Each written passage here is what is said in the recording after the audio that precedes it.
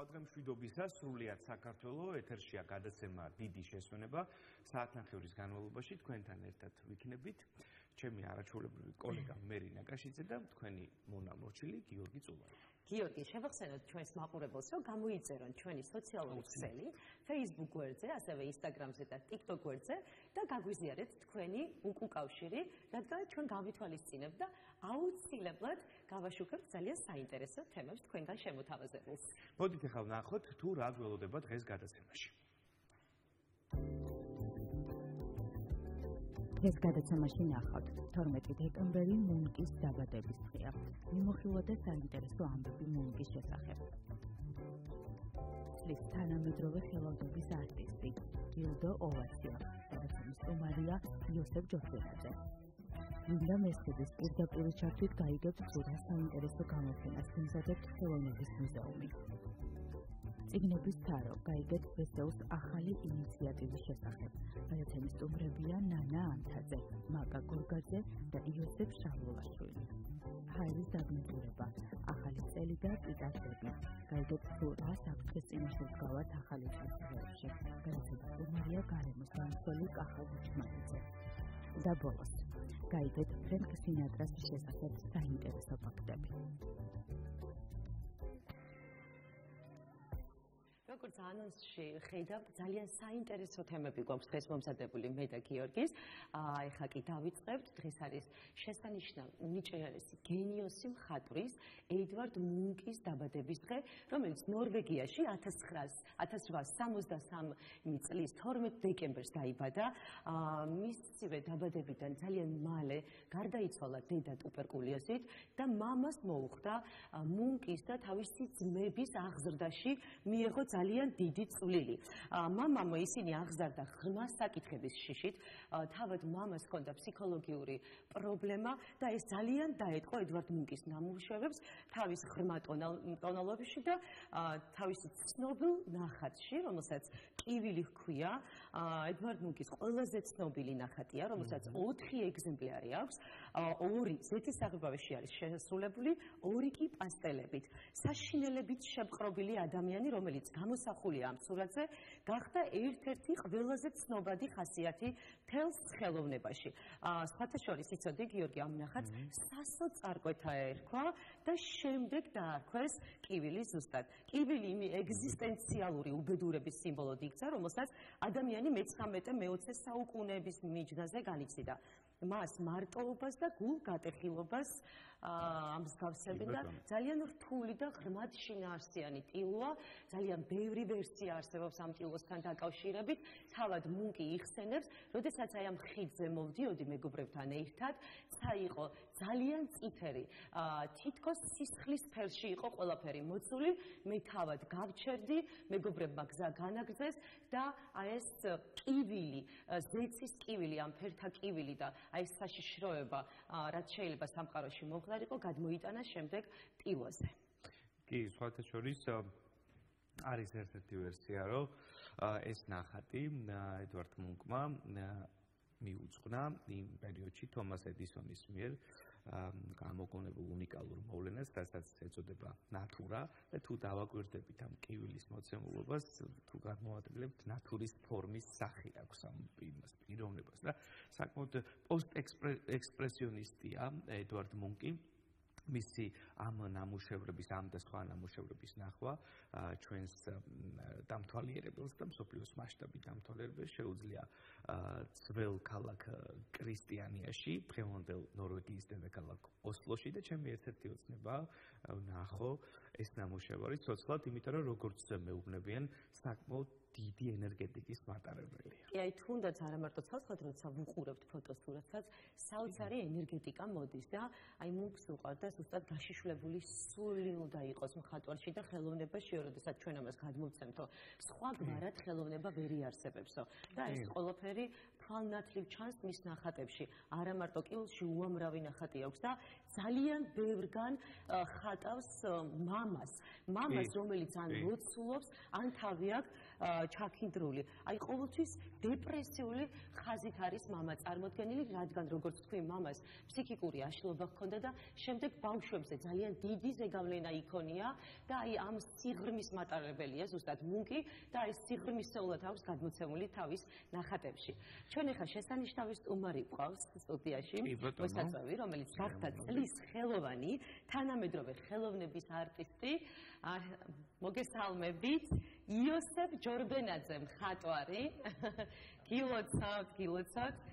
ნამდვილად იმსახურებდით აი ამ ჯილდოს და ძალიან მოხარული ვარ. არ გახლავთ. ადვილი იყოთ ქუჩის მხატვარი, street art-ი, რომელიც ძალიან აქტუალურია და ბოლო წლებში ძალიან დიდი ყურადღება ექცევა, დაფინანსებაც კი უკვე გაუჩნდათ მხატვრებს და არის ამის უფლებებიც, სადაც და სურვილით, სადაც შესაძლებელია მოიხატოს და თუნდაც გამლელებისთვის ეს იყოს შემეცნებიცის და თუნდაც მიზანსწაფისთვის განმახორციელებელი. როგორ დაიწყო თქვენი კარიერა და როგორ მოხვედით აქამდე? შეიძლება ითქვას ედვარდ მუნკის კივილივით დაიწყო ჩემი კარიერა, იმიტომ რომ ყველა შემოქმედის ცხოვრებაში საერთოდ არსებობს ხაზი, რომელსაც ქვია დეპრესიული ხაზი, რაღაცნაირი ტკივილისა და სევდის მატარებელია ყოველი შემოქმედებითი ასპექტი და ამ დროს ადამიანი მართლაც ტკივილს გამოხატავს, მაგრამ ეს აღმერთმადლობა არსებობს ისეთი სახალისებები ცხოვრებაში, თუ ცხოვრებასთან სწორ სინთეზში მოდიხარ, რომ ეს ტკივილი ღიმილად იქცეს და ღიმილი ბედნიერებად. მე ვიმედოვნებ რომ ჯერ ჩემი უფროსი მხატვარი მეგობრები ხშირად მეუბნებიან რომ პირველი 50 წელი უნდა გაუძლო და ჯერ კიდე ერთი ამდენი მაქვს დარჩენილი რომ გაუძლო მაგრამ ბათუმი არის ქალაქი რომელიც ბევრ ღიმილს გაძლევს და ბევრ ცვლილებას განიჭებს მაგ ასპექტშიც კი შემოქმედს. როდის გადაწყვიტე რომ აი ქუჩის მხატვარი უნდა გამხდარიყავი? როგორც ასეთი წოდება ქუჩის მხატვარი ჩემთვის ჩემი აზრით მაინც არ არის, იმიტომ რომ როცა დავიწყე თავიდან არალეგალური ხატვა და მიმალებოდი და ამისთვის ჩარიმები იყო პოლიციის შემთხვევაში ღამით ხატავენ. რა თქმა უნდა, ღამით ხატვა იყო ძალიან ისეთი რომანტიკულია ძალიან, ასე რომ ვთქვა და ძალიან ისე სასიამოვნო შექმნას, მაგრამ თუ ზედმეტად აზიზია პიროვნება, ჩემი აზრით, ცოტა გაუჭირდება იყოს სტრიტ არტისტი.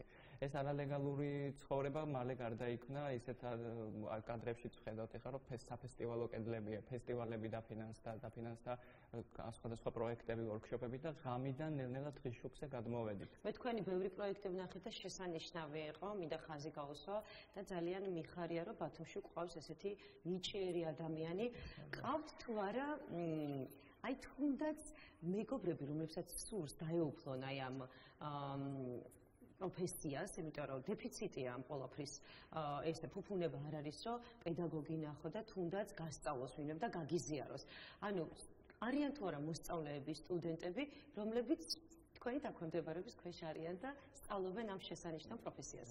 სხვათა შორის წელს წლის მეორე ნახევარში მოხდა ისე რომ სკოლის საფუძვლებს ჩაუყარეთ, ასე რომ თქვა სკოლას ჩაუყარეთ საფუძველი სტრიტ-არტ აკადემიას, მინდა მინდა ძალიან რომ გააკადემიურდეს ეს მიმდინარეობა და ჯერჯერობით პატარა სახელოსნოს ვერსია გვაქვს, სადაც რამდენიმე მოსწავლეს ვამზადებთ, მოსწავლეები არ არიან პატარები, არიან ჩემზე დიდებიც, ჩემი ასაკის გოგონები, ბიჭები და ამას ვსწავლობთ, იმიტომ რომ მე ზუსტად ვიცი როგორია, როცა სტრიტ-არტით გინდა დაკავდე და არ იცი საიდან დაიწყო. ყველამ არ არის არ არის დავალდებულო რომ ყველამ ღამით დაიწყოს ხატვა და არალეგალურად ხატოს ამის გამოცდილება შეიძლება ერთ არტის უკვე იყოს და ერთ კივილში მოექცეს ყველაფერი. და ჩემი აზრით ამ სკოლით ამ სტრიტ აკადემიით დავეხმარებით იმ ახალგაზრდებს ვისაც ნამდვილად რომ სპრეი პოლივიზატორის ტექნიკა შეისწავლონ და იყვნენ სტრიტ არტისტები და შემდეგ აირჩიონ თავიანთი გზა. აა იოსებ დღეს სიმბოლურია ხო? აი ედვარდ ლუნკის დაბადების დღეა და ჩვენაც გადავწყვიტეთ გვესაუბრა მხატვრობაზე, მით უმეტეს რომ შენ მიიღე წლის ხელოვანის ჯილდო, აი მაგალითად მუნგზე ძალიან დიდი გავლენა მოახდინა იმპრესიონისტებმა, კლოდ მონემ, ედვარდ მონემ, ის პარიზში ცხოვრობდა. თქვენზე ვინ მოახდინა საინტერესოა გავლენა იმისათვის, რომ გამختارიყავით არტისტი და თქვენი შემოქმედება ამ მიმართულებით განგევცოთ? ალბათ ყველაზე არაშემოქმედებითმა პროცესებმა მოახდინა ზუსტად ეს შემოქმედებითი გავლენა, იმიტომ რომ როცა ადამიანი გარემოცვაში ხარ რაღაც შემოქმედების და ამის ناقოფი ჩდები, ეს ძალიან ლოგიკური გაგრძელებაა. ჩემ შემთხვევაში არც ოჯახში ვხედავდი შემოქმედებას ასე თუ ისე, მაგრამ ყოველთვის იყო აღქმა და უნარი იმისა, რომ სიყვარულით შეეხება შემოქმედებისადმი. აი, ამან იქონია გავლენა ელემენტარულმა ადამიანურმა ფაქტორებმა ძალიან ძალიან უბრალოდ და გლეხურად მოხდა ეს ყველაფერი მარტივად რა ვთქვა. ყველაფერი გენიალური მარტივია, ხო იცი რა თქმა უნდა. ამიტომ იოსებ გითხავ ასეთ რაღაცას. ყველა არტისტს გარკვეული მესიჯები აქვს საზოგადოებისთვის, ხო? შენი მესიჯი რა არის? ვისი თქმა გინდა შენი შემოქმედებით? ძალიან რთულია მოკლედ ჩაადიო შენი მესიჯი რაღაც სიტყვებით შეფუთო, ალბათ ამიტომაც ხატავ რომ ვერ ვატევ სიტყვებში და შეგვიძლია ვისაუბრო. შეგვიძლია ვისაუბრო. შემოქმედებითი პროცესი ყოველთვის ასახავს ადამიანის შინაგან მდგომარეობას. აი თქვენ მუგზე მამაზეც ახსენეთ როგორი გავლენები ქონდა ამისგან. ოჯახის წევრების გავლენა ძალიან დიდი მნიშვნელოვანი ფაქტორია ხელოვნების სპექტრში და ძალიან მიყვარს ეს ვიდეო. ხელოვნება ისეთი რაღაცა, როცა შეგიძლია გადმოსცე შენი შინაგანი სამყაროს პრობლემები და ამ პრობლემებს ალბათ უფრო თანამედროვე და დადებით ასპექტში ანვითარებ რა, ასე რომ. ძირითადად ესე რომ ვთქვათ, სტრით არტისტების მთავარი მიზანი რა არის? ხო ჩვენ ყველგან გვხდება ეს მიმართულება მსოფლიოს ნებისმიერ ქალაქში. ისინი რას აპროტესტებენ თუ რისით მასწორთ აი საერთო მეინსტრიმი რა არის ამ ამ მიმართულების. ნამდვილად დიდი პროტესტია სტრით არტი და გრაფიტი საერთოდ მე ცოტა ტრადიციული გრაფიტისგან და სტრით არტისგან გამოყოფილი ვარ უფრო ფერწერას ვაკეთებ მაგრამ საქართველოსში რაც არსებობს თბილისში და ქალაქში განსაკუთრებით ძალიან ძლიერი სტრით არტისტები და გრაფერები ყავს ჩვენ ვინც აი მართლაც ბომბავენ ქალაქს აი მასალაც განვითარდა ხო? პულივიზატორები გრაფიტის შემდეგ ანუ შესაძლებელია რომ გამოვიყენოთ და აი ამის ტექნიკაც თუ არის ჩვენთან. კი, ტექნიკა არის. პულივიზატორები წლების წინ მაგალითად არის შევებოდა. ეხლა მეც ერთ-ერთი საღებავების შემომტანი კომპანიის თანადამფუძნებელი ვარ. კობრა ჯორჯიასი, კობრა საღებავი ერთ-ერთი საუკეთესო ხარისხი აი ჩანს კიდეც ვიდეოში. ბილბორდი მოიხატა თბილისში ძალიან დიდი. ანუ უძლებს იმას. კი, არაშენებს არანაირი ქარცეცხლი და ქარხეხილები.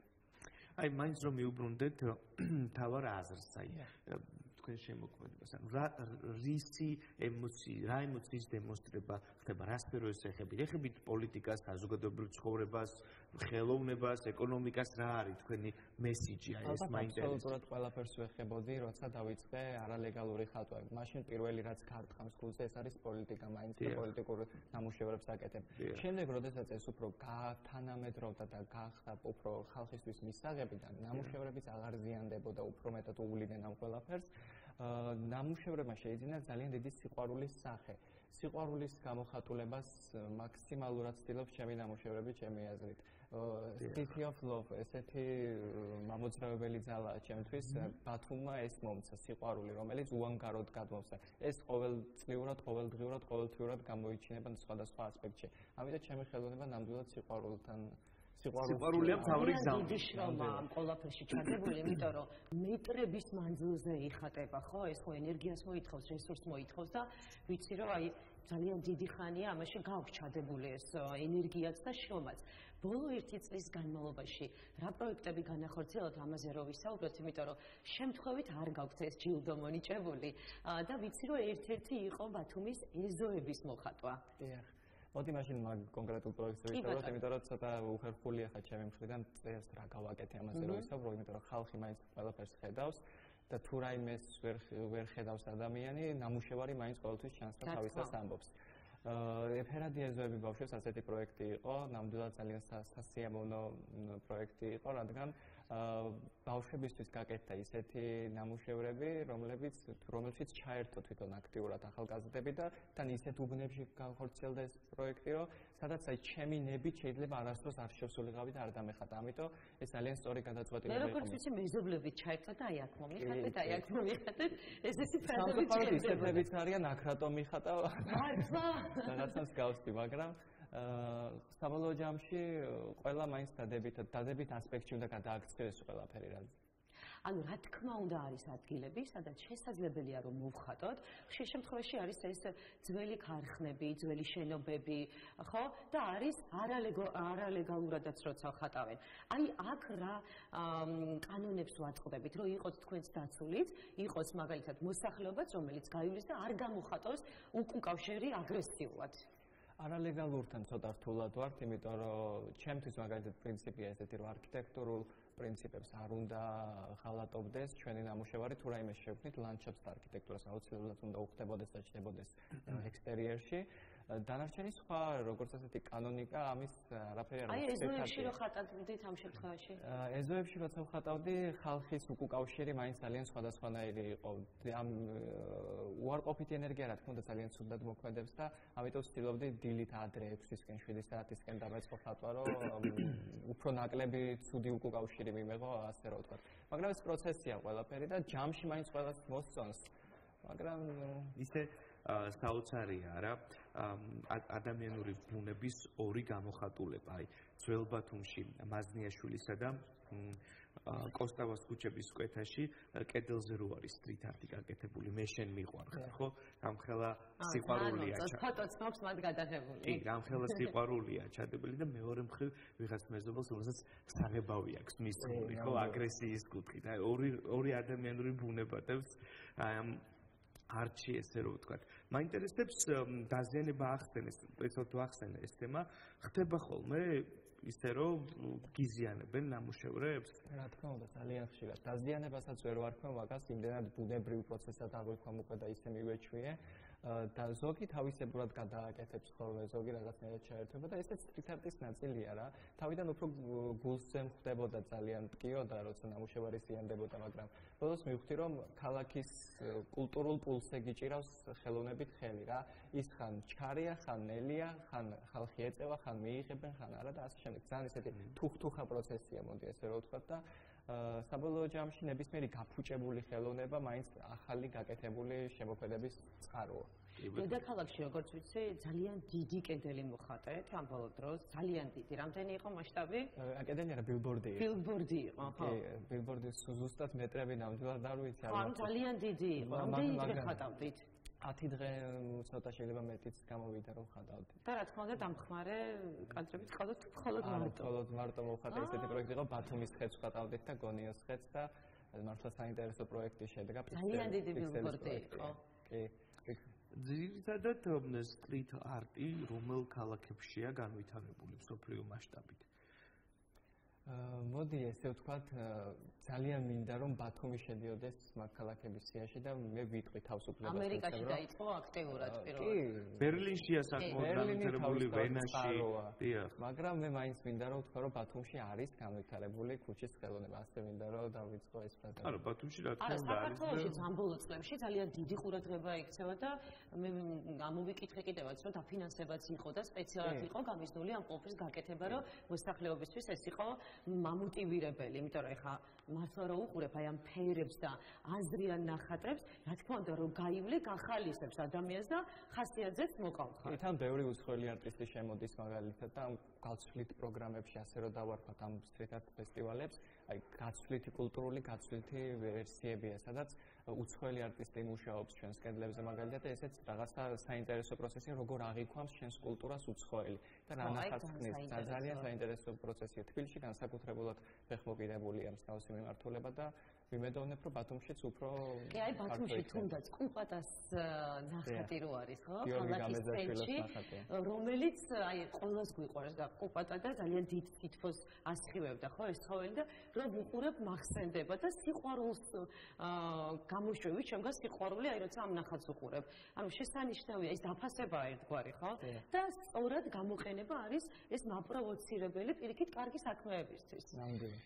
იოსებ შენ ახსენე რომ უცხოელი პირველი არტისტები ჩამოდიან ხოლმე გაცვლითი პროგრამით, ან არ ვიცი შეიძლება რა მოწვევით ესე ვთქვათ და მათ მიერ დანახული აქაური კულტურა ორმაგად საინტერესოა ხელოვნებისთვის. თქვენ თუ გაქვთ მსგავსი შემოთავაზებები და თუ ელით მაგალითად მომავალში რომ მოგიწვიონ სხვა ქალაქებში იმისათვის რომ იქ მოახდინოთ თქვენი შემოქმედების დემონსტრირება. ჯერჯერობით მხოლოდ საქართველოს მასშტაბით ხატავ საზღვრებს არ გავცდენილვარ, რაღაცა ალბათ დიდისთვის ვემზადები, მოდი ესე რომ ვთქვა. არის ფესტივალები ყოველწლიური, შემოთავაზებებიც არის ასე თუ ისე, მაგრამ რაღაცა ისეთ ცელოდები არტისტი, რაც ნამდვილად შენს ხელოვნებას მოერგება. იმიტომ რომ ბევრი რაღაცნაირი დოკუმენტალური კლიშე არსებობს, რაცაც შეიძლება ვერ აკმაყოფილებდე რაღაც რიგი მიზეზების გამო. ამიტომ დიდი იმედი მაქვს რომ სამომავლოდ იოსებ ჯილდო შესანიშნავია უდიდესი мотиваცია იყო წლის ხელოვანი, თუმცა უნდა კითხო, რა არის შენი ამ ამ სფეროს პერსპექტივა საერთო ჯამში რა არის? როგორ ცხოვრობენ სტრიტ არტისტები რა ბოლომდე ენთუზიასტები არიან თუ აქვთ მათ შემოსავლის წყარო, ხო? ეს მაინტერესებს. ნამდვილად ბოჰემური ცხოვრების სტილია, მოდი ასე ვთქვათ, ნამდვილად ბოჰემიდან იწყება, მაგრამ მე თვითონ კონკრეტულად იოსებ ჯორბენაძე ვთვლი, რომ შეიძლება სტრიტ არტის და გრაფიტის გააკადემიურება, როგორც უკვე ვახსენე, და შექმნა ისეთი სტრუქტურის, რომელიც საბოლოო ჯამში საქმიანობა და შეიძლება ჩამოყალიბდეს. შემოსავლის წყაროთ იქცეს შესაძლებელია სტრიტ არტი? აი თუნდაც თქვენ შემთხვევაში აკადემია ჩამოაყალიბეთ ეხა. დიახ, ეხა პროცესია საფუძვლები ეყრება რამდენიმე მოსწავლეთ ჯერჯერობით. რამდენიმე მოსწავლე საინტერესოა და არის თუ არა მოთხოვნა? მოთხოვნა არის საკმაოდ აა უფრო დიდი, ჩემზე დიდი. ხო, აი ასაკი მაინტერესებს. აი 30 წლამდე ახალგაზრდებისთვის არის პრობლემა. ძალიან საინტერესოა. მოდით ეხა კიდე ერთხელ კითხოთ თვითონ ამ პროცესის შესახებ, მე ვიცი რომ ბევრი ხელოვანი დაჯილდოვდა ხო წელს, როგორ ჩაიარა ამ კონიზებამ და რას ნიშნავს შენთვის ეს ჯილდო? ძალიან სასიამოვნო საღამო იყო. მართლაც ხშირად ზოგჯერ მოკლებული ვარ ესეთ საღამოებს, იმიტომ რომ არ მიყვარს დიდად პომპეზური საღამოები, მაგრამ ეს ის დღე იყო, როცა მართლა გული ფეთქავდა და ნერვიულობა და სიხარული და ხელვა ერთად ერთად ტრიალებდა ჩემში. ძალიან კარგი მუსიკოსები გამოვიდნენ საკონცერტო დარბაზში. ბევრი დამსახურებული არტისტი დაჯილდოვდა და მე ძალიან მიხარია რომ მათრიგებში გადაწყდა რომ მათრიგებში ყოფილიყავ. შენ აკადემია ახსენე, რომელიც შესაძლოა შემოსავლის წყაროთ იქცეს ნებისმიერი არტისტისთვის, იმიტომ რომ ჭირდება ამ ადამიანებს ხარდაჭერა, განსაკუთრებით ხელოვნეს ელემენტარულად რო იცხოვრონ და მართლაც ეს აქციონი პროფესია და შემოსავლის წყაროთ. აა გოგონები რამდენად ჩართულები არიან ამ პროცესებში? გოგონები უფრო მონდომებულები არიან, მინდა ვთქვა, იმიტომ რომ აა უფრო მეტი ინტერესი აქვს, რატომღაც ასე ვერ გამოვიდა. და ეს ქუჩი ქუჩის აკადემიისკენ მიდრეკილება, ქუჩის ხელოვნების აკადემიისკენ მიდრეკილება უფრო მეტი აქვს. კი, თბილისში ძალიან ბევრი მხატვარია. კი, თამუნზია ერთი ძალიან ცნობილი მხატვარი თბილისელი, რომელმაც შემოიარა, მოდი ასე ვთქვა, თელი თელი სოფლიო თავისი ხელოვნებით და თავისი ნახატებით, ასევე მუსიაქებური აქვს. მართლა ძველები და ოლდები არიან, ჩვენი გმირები არიან სიტყვაში. კი, ფოტოშორის თბილისში ამ ბოლო პერიოდში იყო საოცარი გამოფენა ქუჩის მხატვრის ბინქსის. მე გახდით და საოცარი შთაბეჭდილება მოახდინა ჩემზე. და ნელ-ნელა წინ ვიწევს ეს ყველაფერი უკვე მუზეუმებშიც კი არის ამ ყველაფრის ესე ვთქვათ წინ წამოწევა პლანზე. კი, სხვათა შორის იოსებს მინდა ვკითხო თუ აპირებს გასვლას რეგიონებში. გავიგეთ რომ დედაქალაქი განვითარებულია ამ კუთხით, ბათუმსაც ესმის ეს ხელოვნება, ეს მიმართულება, რომ ხვდებით იგივე ძველი ბათუმის ქუჩებში მემედაბაშიძის ქუჩაზე სტრიტ არტის ნამუშევრებს, თქვენს ნამუშევრებს, ასევე ქალაქის მასშტაბით. მაინტერესებს იგივე მუნიციპალიტეტებში თუ აპირებთ გასვლას და იქაური კონსერვატიული მოსახლეობა რამდენად მიიღებს თქვათ ამ თანამედროვე ხელოვნებას. ძალიან საინტერესო ხაზია ეგ დეტალი. ძალიან მინდა რომ მომავალი წლიდან დავიწყოთ და მე ბათუმური სტილი შევიტანოთ ცოტა. რეგიონებშიც ნახოთ რამდენად ხარდაჭერა გამოუცხადება ამ ყველაფერს როგორც ხალხისგან ასევე ადგილობრივი მართველი გუნდისგან. კარგი, მე მგონი ამ უმწურავად ისაუბრა იოსებმა, მე მას კიდევ ერთხელ მინდა მიულოცო ეს ჯილდო წლის ხელოვანი გახდა იოსებ ჯორბენაძე დამემშვიდობებით. ნამდვილად და დავამატებდი ერთ რაღაცას, რომ აი თქვა დაუფასებლები არა ვართ ხელოვანები საქართველოში და ეს ფაქტი არის ამის შედეგი. მით უმეტეს იოსებს იოსები ორმაგად დასაფასებელ საქმეს ემსახურება, სრულიად უანგაროდ უსასყიდლოდ ემსახურება საკუთარ ქალაქს და აკეთებს იმ საქმეს, რომელსაც ჩვენ დღეს ქუჩის ხელოვნებას ვეძახით, ეგრეთ წოდებულ street arts. გაგემშვიდობებით და წარმატებებს გისურვებთ. გაიხარეთ.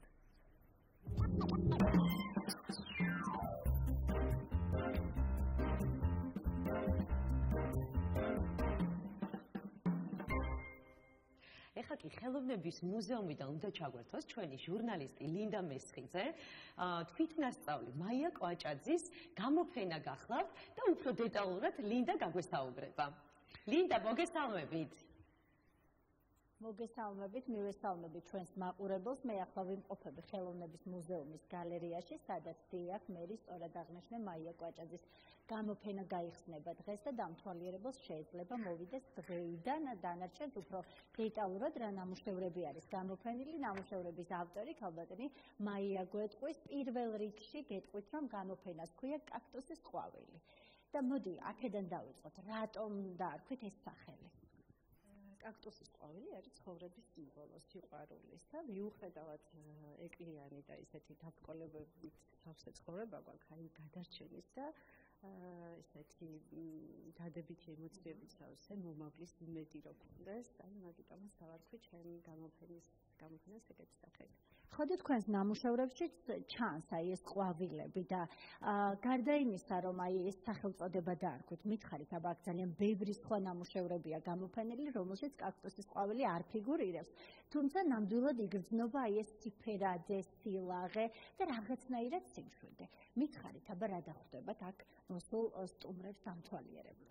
აა ჩემი იდეებისა და კონცეფტის განვითარებაზე ბოლო წელიწად ნახევარია, რაც ინტენსიურად მუშაობ და აი ვაზიარებ ქალურ ენერგიებს, შინაგანს, გარეგანს, სამყაროს, აი განრილის ხოვრების შთაბეჭდილებებს და რაღაცა მგონია რომ სასიამოვნო საღამო იქნება გელოდებით ყველას, ვისაც როდის როდემდე გაგრძელდება, ვის შეიძლება რომ მოვიდეს და ნახოს დაათვალიეროს თქვენი ნამუშევრები. დასწრება თავისუფალია, გაგრძელდება 16 დეკემბრის ჩათვლით. და გელოდებით სიამოვნებით ყველას. ხო, აი ეს ჩანს ძალიან ბევრი ნამუშევარი, სადაც ბავშვები, ქალბატონები ესეთ ფერად და ლამაზ სამოსში არიან გამოწყობილები. როდის შექმნით ეს ნამუშევრები? რამდენი წლის ნამუშევრებია? ნახევარია, თითქმის ინტენსიურად მუშაობ. აი თავისუფალ დროს, აი ძალიან ძალიან დიდი სურვილი მაქვს, თავიდან იყო განტვირთვა, მაგრამ აი რაღაცა ცხოვრების წესად მეკცა და ვცდილობ რა ჩემი ფიქრები, ემოციები გადავიტანო ტილოზე და შთაბეჭდილებები ესე მოვაგროვო. აი განსაკუთრებული ნამუშევარი თუ გაქვთ, რომელიც უკავშირდება რაღაცა კონკრეტულ მოვლენას, რის შემდეგაც ადექით და თქვით, რომ აი შვებას, ბედნიერებას გიგრძნობ ამ ნამუშევრის შექმნით და დაიწყეთ. აი თუ არის აქ ეს ნამუშევარი, აი წარმოდგენილია ეს ნახატი, რომელსაც ქვია პური შინაარსი არის პური ჩვენი არსობისა და მე ვფიქრობ, რომ აი პური ცხოვრების სიმბოლოც არის, რაღაცა ცოცხალი არსება და იმედი მომავალი ცხოვრების, რომ აი უკეთესი იქნება ჩვენი მომავალი და რაღაც აი ქალური სინაზე აქაც ჩანს, რომ სახლში, ოჯახში შეიძლება რომ შევქნათ ეს მყუდრო გარემო და სხვაებიც გავაწყოთ და გავახაროთ. მაია, როგორც ხა რამდენადაც შემოქმედებით ნაწილში სიუჟეტი გადამიღია თუ ჩართვაზე ყოფილვარ, ყველა მხატვარი იძახის, რომ ძალიან მიჭირს ნახატის გაჩუქება, გაყიდვა, იმიტომ რომ ეს ნახატები რატომღაც უყვარდებათ შვილივით. უვლიან უფრთხილდებიან თვალის ჩინევით. თქვენ შემთხვევაში როგორ არის? ჩემ შემთხვევაში არის პირიქით. თუ კი არის სურველი პირიქით აი თუ კი ვინმეს უხარია რომ რაღაცა აი ჩემი ნახატით სიამოვნება მიიღოს აი ეგრევე ის მაქვს რომ აი მოდი გაჩუქებ და აი რაღაცა ის მაგრამ რა თქმა უნდა მიყვარს ჩემი ნამუშევრები და მთელი გული და სულია ჩადებული ჩემ ნამუშევრებში და ხო აი კიდე მაინტერესებს ყველა ნამუშევარში არის რაღაცა ხიაფერი პოზიტიურ მხარეს გვეჩვენებს თითქოს ეს. თქვენ აღნიშნეთ, რომ აი კალორის სინაზე და სინატიფე გინდათ რომ გადმოსცეთ ამ ნამუშევრებში, მაგრამ აი რეალობა სხვანაირის არის ხოლმე. თუ გაქვთ ისეთი ნამუშევარი, რომელიც აი სხვა რეალობას გადმოსცემს. აი ძალიან დიდი მადლობა თუ მოგწონთ, მაგრამ აი თითქოს ზოგ ნამუშევრებში არის ფონი შავი და აი მაინც ხო დაყვება ეს რაღაცა დაბრკოლებები ცხოვრების გზაზე, მაგრამ აი ეს ფერები თითქოს მაინც განტვირთვის და იმ დადებითი ემოციების შეგროვება, რომელიც აუცილებელია რომ გადავრჩეთ. ძალიან დიდი მადლობა წარმატებებს გისურვებთ ბოლო კითხვა მექნება ახლა დამთვალიერებლებს დახვდებით. აქ ხო და თქვენ თვითონ გაუწევთ გიდობას ამ გამოფენილებლად დახვდები გელოდებით დიდი სიყვარულით. ძალიან ღელავ პირველი გამოფენაა და რა ვიცი. ყველაფერი იმედია ყველაფერი კარგად ჩაივლის. ძალიან დიდი მადლობა გისურვებთ წარმატებებს. დღეს 4 საათზე გაიხსნება გამოფენა ხელოვნების მუზეუმში, გალერეაში, სადაც მაია კვაჭაძის ნამუშევრების გამოფენა დაგვხდებათ და 16 დეკემბრამდე გაგრძელდება. ამიტომ შეგიძლიათ მობრძანდეთ ხელოვნების მუზეუმში და ისიამოვნოთ ამ ნამუშევრების დათვალიერება. მინდა ძალიან დიდი მადლობა. დაგემშვიდობებით. ჩვენ კი ვაგრძელებთ ჩვენს გადაცემას. ესე იგი, ციგნების თარო, ასე ქვია, ახალ ინიციატივას, რომელსაც ბათუმის შოთა რუსთაველის სახელმწიფო უნივერსიტეტი ახორციელებს. ეხლა უნდა მოვიწვიოთ სტუდიაში ამ პროექტის ავტორები, ნანა ანთაძე, მაკა კორგაძე და იოსებ შალლაშვილი. ამყვანი. ხო, მოგზანდეთ. მოგესალმებით. მოგზანდეთ, ალბათ რომ დაბატონებო. აბა მოგვიყევით, საიდან მოვიდა ეს იდეა და რას ეხება? იდეას რაც შეეხება ერთ-ერთ სტუდენტურ შეხვედრაზე გაიჟღერდა იდეა და შემდეგ უკვე გადავწყვიტე რომ უშუალოდ გამეხორციელებდი რა. თქმა უნდა ნანა იყო ჩემი უშუალოდ დამხმარი რადგან ასეთი დიდი პროექტი როგორც უკვე აღნიშნეთ უნივერსიტეტში რა ჩატარებულა და საკმაოდ საპასუხისმგებლო საქმე იყო. გარდა ამისა ფიქრობდი რომ მინდა და რაღაც რადგანაც პირველი იყო უფრო ისეთი ყოფილიყო როგორ თქვა განსხვავებული რა ამეთ ისეთი ფორმატით არა და მე და ნანა რავი მგონი თავი კარგი გავაკეთე თქვენი იდეა იყო და შემდეგ განახორციელეთ თქვენი მეგობრების დახმარებით. როდის მოვიდა ეს იდეა და რამდენ ხანში მოხდა განხორციელება? იდეა დაახლოებით ერთი თვის წინ. კი ესე მალე უცებ განახორციელეთ ჩვენ დრო კიდევ უფრო გაგვეწევა განშვალებული გამოცდები და გვემთხვა იმ პერიოდს, როდესაც გვინდოდა და თან გვინდოდა რომ სტუდენტებისთვის მაქსიმალურად მოსახერხებელ პერიოდში ჩაგვეტარებინა და ასე ვთქვათ, სასწავლო პროცესში ხელი არ შეგვეშვა. თქვენს გაგვიზიარებთ თქვენი გამოცდება ნანა ამ პროექტთან დაკავშირებით და რა იგეგმება უფრო დეტალურად. აა ეს პროექტი პირველ რიგში იმიტომ წამოვიწყეთ, რომ გვინდათ რომ სტუდენტები გაიზარდონ პიროვნულად, განვითარდნენ, მიიღონ გამოცდილება თავდაჯერებლობა და თვითშეფასება აიმაღლონ და დიდი იმედი გვაქვს, რომ მომავალში დიდ ციგნების თაროშიც ვიხილავთ. ეს პროექტი ჩვენთვის არის ასე ვთქვათ პირველი, პირველია, როდესაც ჩვენი თუ აკეთებთ ყველაფერს. რაღაც დაბრკოლებები რა თქმა უნდა შეხვდა, მაგრამ ყველაფერი გადავლახეთ და ჯერჯერობით კარგად მივდივართ. რა კარგია ამ ინიციატივების უფლებაც რო გაქვს და ესე თავისუფლად ფრთების გაშლა არის შესაძლებელი და თქვენი მიზნების თუნდაც აღდენა. რომელ კურსზე იმყოფებით ამჟამად? მესამე კურსზე ვარ მე. მესამე კურსზე. აჰა. ვის შეუძლია ამ პროექტში მონაწილეობის მიღება? პროექტში მონაწილეობის მიღება შეუძლია ფსეუ სტუდენტებს, ნებისმიერ ანუ საფაკულტეტო არ არის თავისუფალია, თავიანთ მეგობრებთან ერთად შეუძლიათ შექმნან გუნდი, დარეგისტრირდნენ და ითამაშონ. და სად როგორ ჩატარდება თქვა რა პრინციპით იქნება ეს თქვა ორგანიზებული ეს ყოველფერ დეტალები დაწურებული მაყურებელს აინტერესებს. აი იოსები არის წამყვანი როგორც შეცით. აბა გაგვიზიარე იოსებს რა პასუხისგებლობა გაკისრიათ? მაქსის პატივი ვიყო ამ ჩვენიერი პროექტის წამყვანი. პასუხისგებლობა ნამდვილად დიდია და მეც მოგს რომ პირველ თამაშს კარგად გავართვი თავი, ყოველ შემთხვევაში შევეცადე. ხო, მონაწილეობა როგორც აღნიშნეს, შეუძლია ჯერჯერობით მხოლოდ ბათუმის სახელმწიფო უნივერსიტეტის სტუდენტებს დასწრება ჯერჯერობით. ესე იგი სამომავლო გეგმები. კი, ნაზრად არის სამომავლო დიდი გეგმები. კარგი. დასწრება შეუძლია ყველას, მათ შორის თქვენს და გაგვიხარდებათ უკვე სტუმრებით, რომელიმე თამაშზე. დიდი სიამოვნებით. შეგიძლიათ კითხვებით გამოგვიგზავნოთ რაღაც სახის. აი თამაშის პრინციპებზე გვესაუბრეთ. კი ბატონო, აი ტექნიკურად როგორ ხდება? კი ბატონო, როგორც სატელევიზიო ციგნების თარო არის, ისე ზუსტად იგივე პრინციპი არის სამი ეტაპისგან შედგება ჩვენი თამაში. პირველი ეტაპი უშუალოდ ლიტერატურაზე ქართული და უცხოური ლიტერატურა. მეორე რაუნდი არის ქართული რაუნდი ისტორიის გეოგრაფიის და კულტურის. ხოლო მესამე ეტაპი არის ზოგადი რაუნდი სპორტი მეცნიერება და ხელოვნება და გადამწყვეტი რაუნდი და ყველაზე დაძაბული და ასე შემდეგ ბლიცი აჰა. ალბათ ყველაზე შრომატევადია. ეს ბევრი კითხვის შედგენა გვიწევს. დიახ.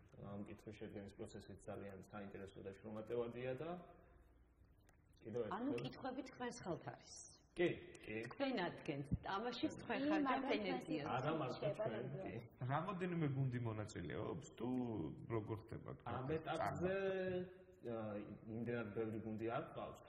აა ნანა გვეტყვის რამდენი გუნდი არის? ამ ეტაპზე მონაწილეობს 8 გუნდი, 4 გუნდმა უკვე ითამაშა პირველი ეტაპი, მაგრამ პირველი თამაშის მერე თითქმის ყველა მონაწილე დამსწრე უბრალოდ მოვიდა და გითხრა რომ ისიც რა როდის ატარებს შემდეგ თამაშს? ჩვენს გვინდა რომ მივიღოთ გუნდი პატარა არ არის პირველივე წამოწყებაზე. მე მგონი საკმაოდ კარგი დასწრება იყო და უკუკავშირი კი საზოგადოებისგან და სტუდენტებისგანაც ძალიან კარგი უკუკავშირი შემოვიდა და ჩვენ ყველაზე მეტად ეს გვახარებს იმიტომ რომ ამ საქმეს სწორედ სტუდენტებისთვის ვაკეთებთ და გვინდა რომ საუნივერსიტეტო ცხოვრება უფრო მრავალფეროვანი და სახალისო და საინტერესო გავხადოთ მათთვის საინტერესოა. ზოგადად ამბობენ რომ დრო იცვლება თუმცა სტუდენტების და ადამიანის მისწრაფებები სხვადასხვა გვარია თუმცა მაინც ძირითადად ერთია ხო. აი დღეს თქვენ თაობას რა სურს? საინტერესო ორიენტირებულია უფრო სწავლაზე, გართობაზე თუ უბრალოდ სწავლაზე ამ მსგავს პროექტებზე თუ უფრო გართობაზე და ასე შემდეგ. თქვენ როგორ ფიქრობთ? წელს რაც ვაკვირდები, აი პირველ კურსელები როცა შემოდიან, პირველ რიგში ის მინდა აღნიშნო, რომ ძალიან აქტიურები არიან თითოეული მაგარი. პირველ კურსელები. კი, ძალიან აქტიურად ერთობენ ყველა პროექტში, საგანმანათლებლო კულტურული იქნება თუ სხვა. ასევე აქტიურად არიან ჩართული, ან ძალიან კარგად სწავლობენ. აი საინტერესოა, მაგალითად, რომელი კურსელები იყვნენ უფრო მეტად ჩართულები? პირველები, თქვენ რა? მესამე, მეორე მეორე მესამე კურსიც არის, მაგრამ უმრავლესობა პირველი კურსია და გამოუწევია. мотивация ხართ მათთვის. კი, კი, ნამდვილად. თქვენ თავად რა მიმართულებით სწავლობთ, რა გინდათ, რომ გამოგვიდეთ? ეს ფინანსების მოდულზე ვარ. აა სამწუხაროდ, რომ წლევანდელ მესამე კურსელებს ნამდვილად ასე რომ ვთქვათ, ჩაკეტილი პირველი კურსელობა გქონდა და ძალიან მიხარია, რომ აი ჩვენ სამა მოვახერხეთ და უფრო მეტად გავამრავალფეროვნეთ წლევანდელი პირველთუნის შოთარუსთავის სახელმწიფო უნივერსიტეტის პირველ კურსელების სტუდენტური ცხოვრება, რადგან ძალიან ყავს ასეთი აქტივობები. კი, თქვენ განებივრებული ხართ ისეც უნივერსიტეტში ჩვენ როგორც ვიცით, ძალიან ბევრი აქტივობები. კი, კი, ნამდვილად ძალიან ბევრი აქტივობა ტარდება და მადლობა უნივერსიტეტს ამისთვის, რომ გაძლევს საშუალებას და რა კიდევ ბევრს ფიქრობთ იმისთვის, რომ რა შეიძლება ახალი შევმატოთ პირველ კურსელებს დავაინტერესოთ, გარდა ამისა, რა თქმა უნდა, სახელი მოუპოვოთ უნივერსიტეტს კიდევ უფრო მეტი და ფიქრობთ, რომ სამომავლოდაც ალბათ ეს თამაში გაცდება უნივერსიტეტის სტუდენტების. კი, აი იოსებ, მოკლედ, გარდა იმისა, რომ კითხვები უნდა მოვამზადოთ, აი ეს პროექტი დავწეროთ, ძალიან დიდი პასუხისგებლობაა წამყვანი სამპლუაში ყოფნა. აა როგორ გადადლიეს ნაბიჯი? პირველი იყო შენთვის? ციგნების თაროს წამყვანობა პირველი იყო, ასე უშუალოდ, როდესაც ყველაფერი მე მიმყავდა. გარდა ამისა, ნაწილობრივ მე ვარ კითხვების ავტორი ბათუმის სახელმწიფო უნივერსიტეტში, რასაც როდის ტურნირზე. ამისათვის მადლობა ჩვენ უნივერსიტეტის ლექტორს და ინტელექტუალური თამაშების სულის ჩამდგმელს და ახალგაზრდების დიდ მეგობარს და მოტივატორს ბატონ გიორგი მასალკინს. ასევე დიდი მადლობა ბათუმის სახელმწიფო უნივერსიტეტის სტუდენტთა კარიერული განვითარებისა და კულტურის სპორტის დეპარტამენტს. რაც შეეხება წამყვანობას, მე პირადად ძალიან მეხალისება და ყოველთვის ვცდილობ, რომ რაც შეიძლება ხალისიანად წავყო. მორ დავიტოვოთ, გიორგი. ხო, რაღაც ხოლმე კრედოდ მაგის რომ ყოველთვის მხიარულად გავაკეთო ის, რასაც ვაკეთებ. ხო, მაგრამ ენერგია გადამდებია. შეიძლება ადამიანს სრული არ ჰქონდეს, მაგრამ შენი ენერგიით ისე გადასცე ეს ყველაფერი, მოიყვანო, შემოიტყო და მე უკვე დაინტერესდება. ალბათ ეგეც ერთ-ერთი მიზეზი იყო იმისა, თუ რატომ ამის შესწავლად ჩემი ასეთ ხასიათის გამო შეიძლება და მოკლედ მაქსიმალურად ვცდილობთ, რაც შეიძლება ბევრი ადამიანი მოიცვას ამ პროექტმა და ინტელექტუალურმა პროექტებმა.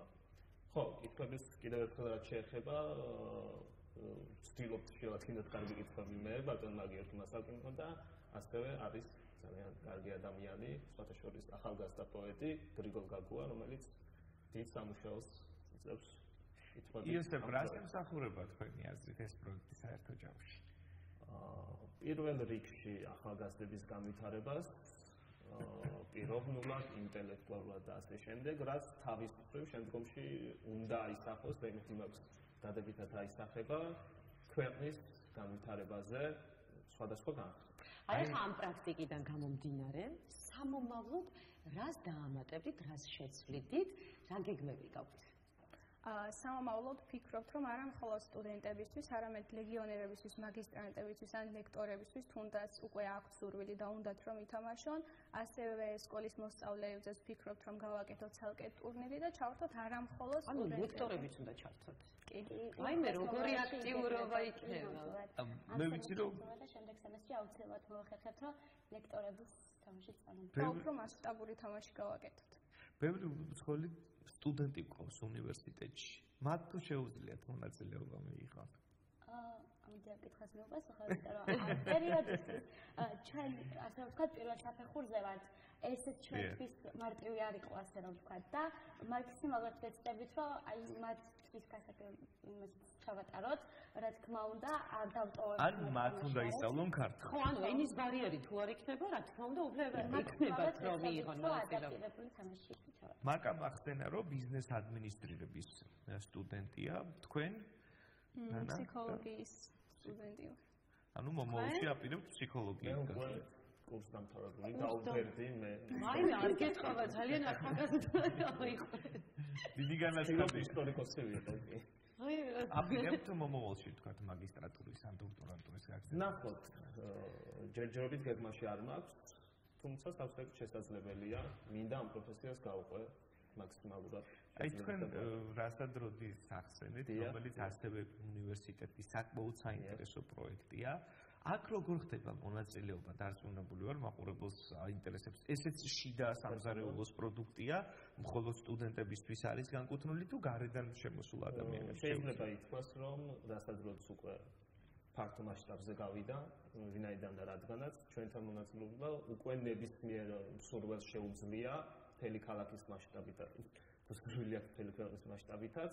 შესაძლოა არ გვაქვს ის შეუძლია თამაშების არა ჩვენთან არის საბედნიეროდ სასკოლოს ტურნირის წარმომადგენლების, თავის თავის სტუდენტების და უკვე საკმაოდ ისეთი ხალხი. ეს საინტერესოა, იოსები არის კურს დამთავრებული, გოგონები ჯერ სწავლის პერიოდში არიან და კიდევ აქტიურად არის ჩაბული და არ ტოვებს ამ ტერიტორიას იმდენად უყვარს. ანუ ინტელექტუალურ თამაშებში აქტიურად არის ჩართული და ცდილობს თქვა ადამიანებიც ჩავიწრიო, ასე ვთქვა, განსაკუთრებით სკოლის პედაგოგის ბავშვები, იმიტომ რომ მათაც ძალიან უყვართ მსგავსი პროექტები და ასე აქტიურად რო ტარდება, მათთვისაც ბევრს ნიშნავს და მე ხარ ანუ გამოცდილება გვაქვს ისე საუბრობ ალბათ სკოლის ბავშვებთან, გაგვიზიარე ეგ. აა ბევრი სკოლის მოსწავლე არის ისეთი, რომელიც უკვე სტუდენტურ დონეს თავისუფლად ეწინააღმდეგება, ასე რომ ვთქვა და 5-6 გუნდის დასახელება შეიძლება, რომელიც ტოპ 10 გუნდში უკვე შედის ქალაქის და მიხარია ძალიან და ამიტომ ხარ უნდა დაუჭიროთ ახალგაზრდებს და ყოველთვის. იოსებ იცი რა მინდა კითხო? ძირითადად ეს თამაში იგივე ციგნების თარო რა პროექტს თქვენ ახორციელებთ და რასაც როდის დამოკიდებულია რაზე? რა თქმა უნდა ინტელექტზე ცოდნაზე და განათლებაში. ამის გარდა რა უნდა გქონდეს თამაშის მონაწილეს განვითარებული?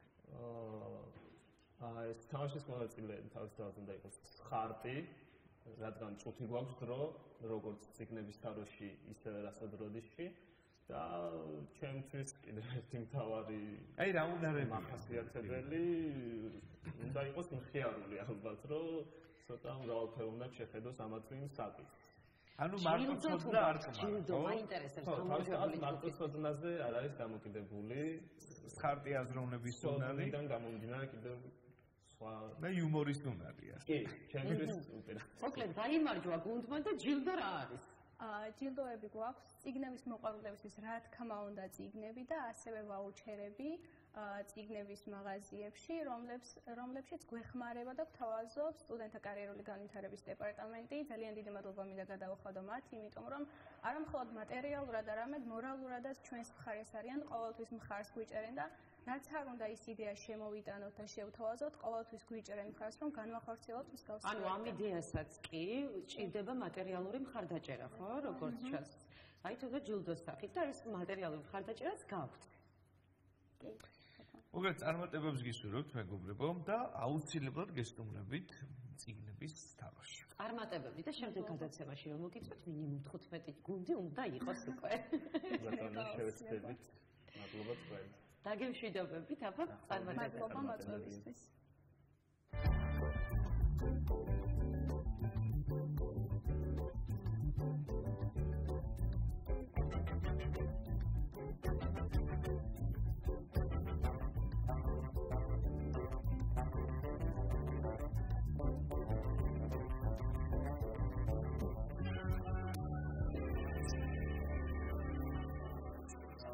საკმაოდ აქტუალურ თემაზე უნდა ვისაუბროთ. გუშინ ქობულეთის ერთ-ერთ სოფელში პიროტექნიკის აფეთქების შედეგად 12 წლის მოზარდი ძიმე დაშავდა. ესე იგი, როგორც ადგილობრივები აცხადებენ, მოზარდს სხეულზე დამწრობა აღენიშნება. ანუ დაშავებული უკვე გადაიყვანეს ქობულეთის საავადმყოფოში, თუმცა პირველად დახმარების აღმოჩენის შემდეგ მისი მდგომარეობაში მოგვიანებით ძიმე გახდა და იძულებული შეიქმნენ მედიკოსები ის დედაქალაქში თბილისში გადაეყვანათ. არსებული ინფორმაციით მოზარდის მიერ ნასროლი პიროტექნიკა бенზინის ავში ჩავარდა, რამაც აფეთქება გამოიწვია. ესე იგი გარემოზე კი არა, უკვე ადამიანებზე მოქმედებს ფაქტიურად სავალალო შედეგამდე მიხავს ადამიანები ამ პიროტექნიკის გამოყენებას. და მე მინდა ხარ ჩვენ მოვიწვიო ჩვენთან სტუმარი კახა კუჩმანიძე გარემოს დამცველი ხოვთ ბატონო კახა. ეხლა ვამბობდი რომ გარემოზე მიყენებული ზიანი კი არა ადამიანს საყენებს კოლოსალურ ზიანს პიროტექნიკა ხო? ანუ აი ეს გუშინდელი მაგალითი, გუშინ საღამოს გავრცელდა ეს ინფორმაცია და შოკის მომგვრელი იყო. ყოველ წელიწადს ჩვენ გებულობთ ასეთ ამბებს, რომ პიროტექნიკის გამოყენების შედეგად ვიღაცა დაშავდა, ვიღაცა დამწრობა მიიღო და ასე შემდეგ. კი, თან დღესასწაულზე, როდესაც ადამიანი უნდა ზეიმობდეს და ესეთი ტრაგიკული ფაქტები ხდება. როგორც ვიცით, კანონით შედის უკვე ამ თემასთან დაკავშირებით, როდის გააქტიურდება? მოგესალმებით ძალიან საინტერესო და ძალიან აქტუალური საკითხია. სამწუხარო რეალობა არის ის, რომ ძალიან ბევრმა ქვეყანამ მიიღო ამაზე რეგულაციები, მათ შორის ჩვენმა მეზობელმა ქვეყნებმა, მაგრამ ჩვენთან მიმართებაში რეგულაციები არ არის მიღებული. აი მეზობელმა სომხეთმა მაგალითად მიიღო. ჩვენ არ მიგვიღია, ვთქვებულობთ იმას, რომ პიროტექნიკა, ფოიერვერკები, მაშხალები, წვიმის საწინააღმდეგო, ესე ვთქვათ, დანადგარები, ეს ყველაფერი საბოლოო ჯამში გარდა იმისა, რომ იწევს საკმაოდ დიდ ეკოლოგიურ ზიანს, მოდი აქედან დავიწყებ და რა თქმა უნდა ადამიანური ყველაზე მთავარია, მაგრამ მოდით ამ სპეციფიკით დავიწყოთ, ხო? არის წყარო ისეთი ტოქსიკური ნიუტრიენტების გაქვევისა, როგორც არის კადმიუმი, დარიშხანი, მათ შორის ტყვია, რომელსაც ძალიან მაღალი კუმულაციური ეფექტი გააჩნია და ძალიან დიდ უარყოფით შედეგებს იწვევს. ეს ყველაფერი ჰაერში და ატმოსფერულ ჰაერში რჩება სეწონი შეწონილი ნაწილაკების სახით საკმაოდ დიდ ხანს. გარდა ამისა, ეკოსისტემას ადგენდა ძალიან დიდი ზიანი. იწევს დაფრთხობას თვითონ ცხოველთა სამყაროში. არაერთი ფაქტი ყოფილა ჩიტების, ესე ვთქვათ, ფუნქციების, ასევე ცხოველების, შინაური ცხოველების, ზაღლების და რა თქმა უნდა, ყველაზე მთავარი ღირებულება ჩვენ სამყაროში ეს არის ადამიანი და რა თქმა უნდა, ყველაზე დიდი ზიანი ადგენდა ადამიანს. გარდა იმისა, რომ ამით ჩვენი ატმოსფერული ჰაერი ზიანდება, რომელიც შემდგომ უკვე ჩვენს სხეულში აღწევს და ჩვენს რესპირალურ, რესპირატორულ გულსიზრდათა და სხვადასხვა მათ შორის ნერვულ სისტემას უწევს ძალიან დიდ ობსტრუქციას ახდენს ამ სისტემებისა. ყველაზე უარესი ამასთან ერთად არის ასევე ის ფაქტორი, რასაც ნაკლებ ყურადღებას აქცევენ. ეს არის ეგრეთ წოდებული ხმაურით დაბინძურება. აი არსებობს გარემოს დაცვაში საკმაოდ მნიშვნელოვანი ტერმინი ესე ვთქვათ ხმაურით დაბინძურება. ანუ აკუსტიკური ხმაური, როდესაც რეალურად უსისტემო აკუსტიკური ხმაური იწევს მათ შორის როცა ეს ყველაფერი კონკრეტულ დეციბალებს აჭარბებს, იწევს ჩვენში ძალიან შეუცვლელ შედეგებს. აი მაგალითად 85 დეციბალამდე ჩვენთვის ატანადიო ეს ყველაფერი. აი მაგალითად 100-130 დეციბალზე ჩვენ შეიძლება მივიღოთ ცუდი შედეგები ჩვენს ნერვულ სისტემაზე, სმენაზე, მithumetes სმენის ესე ვთქვათ, უჯრედები აღდგენას ასე გადაიქონდება. ინფარქტი. ინფარქტი ბატონო და ასევე ვღებულობთ იმას, რომ რაღაც 160-180 დეციბალის შემდგომ უკვე ლეთალური შედეგი იდგება. რა თქმა უნდა, ეს ექსპოზიცია დამოკიდებულია იმაზე, თუ რა პერიოდულობით გრძელდება და ცხადია რომ მიუხედავად იმისა რომ ერთ დიდ პერიოდში შეიძლება 150 დეციბალი გააჩნდეს ეს არ არის იმდენად ხანძლი პერიოდში ეს ექსპოზიცია რომ თქვა მაინდამაინც ლეთალობა გამოიწვევს მაგრამ მოდით შევხედოთ მე მაგალითად პირად მაგალითზე გეტყვით რა მე ვცხოვრობ ბულვარში სადაც ავიც ვიღაცის დაბადების დღეზე ვიღაცის მეუღლის დაბადების დღეზე რესტორნის გახსნაზე ვიღაც მიჯნურის ხრიდან გამოხატულ სენტიმენტებს ვაწყდებით იმას რომ აი ესე ვთქვათ უსისტემოდ ყველა შეუულია მივიდეს ბულვარში არა ესე ვთქვათ პირველზე ორზე სამზე ეს ღამე შესაძაც ესე ვთქვათ წესიერ ადამიანებს ძინავთ ხოლმე მით უმეტეს ბავშვებს ორსულქალებს და გამოიწვიოს ის რომ ის რო ჩვენ ნერვულ სისტემაზე მოქმედებს ის რომ უამრავი მომოკვდავი ადამიანი შეიძლება იმ მომენტში იმყოფებოდეს ის რომ უამრავი დავდომილი ადამიანი შეიძლება იმყოფებოდეს იცით რომ ამ ეფექტმა შეიძლება ორსულ ქალებში გულსიცავთ და ავადობების მქონე ადამიანებში გამოიწვიოს არასათანადო და რიგ შემთხვევაში შეიძლება შიშინა გამოწეული ფატალური. შედეგიც კი კრუნჩხარ თქვათ კრიზი და თქვათ ფატალური შედეგიც კი ყველაზე ორი შემთხვევაში. აი ამ დროს აი არანაირი სისტემური კონტროლი ამ ყველაფერს არ ხდება წყალებში უპრაგონოდ ხდება ის რომ ვისაც რაღაც კონკრეტული ვის ვიღაცას ბავშვი შეეძინა თქვა სამი გოგო შემდგომ ბიჭების ვიღაცას ესეთ გარიგებით მოყალი მეუღლეს ფორივერკი მიუძნა ვიღაცამ რესტორანი გახსნა გაჭირველი ქვეყანა სადაც ყოველი მესამე ვალებში იხჭობა და ყოველი მეათე შიმშილი ზღვარზია და უშველებელი ფასები დაადო მონაკოსაც შეშულდება აი ეგეთი სისტემაში ყველა უპრაგონოდ წყალებში ბოდიში ამ სლენგისთვის.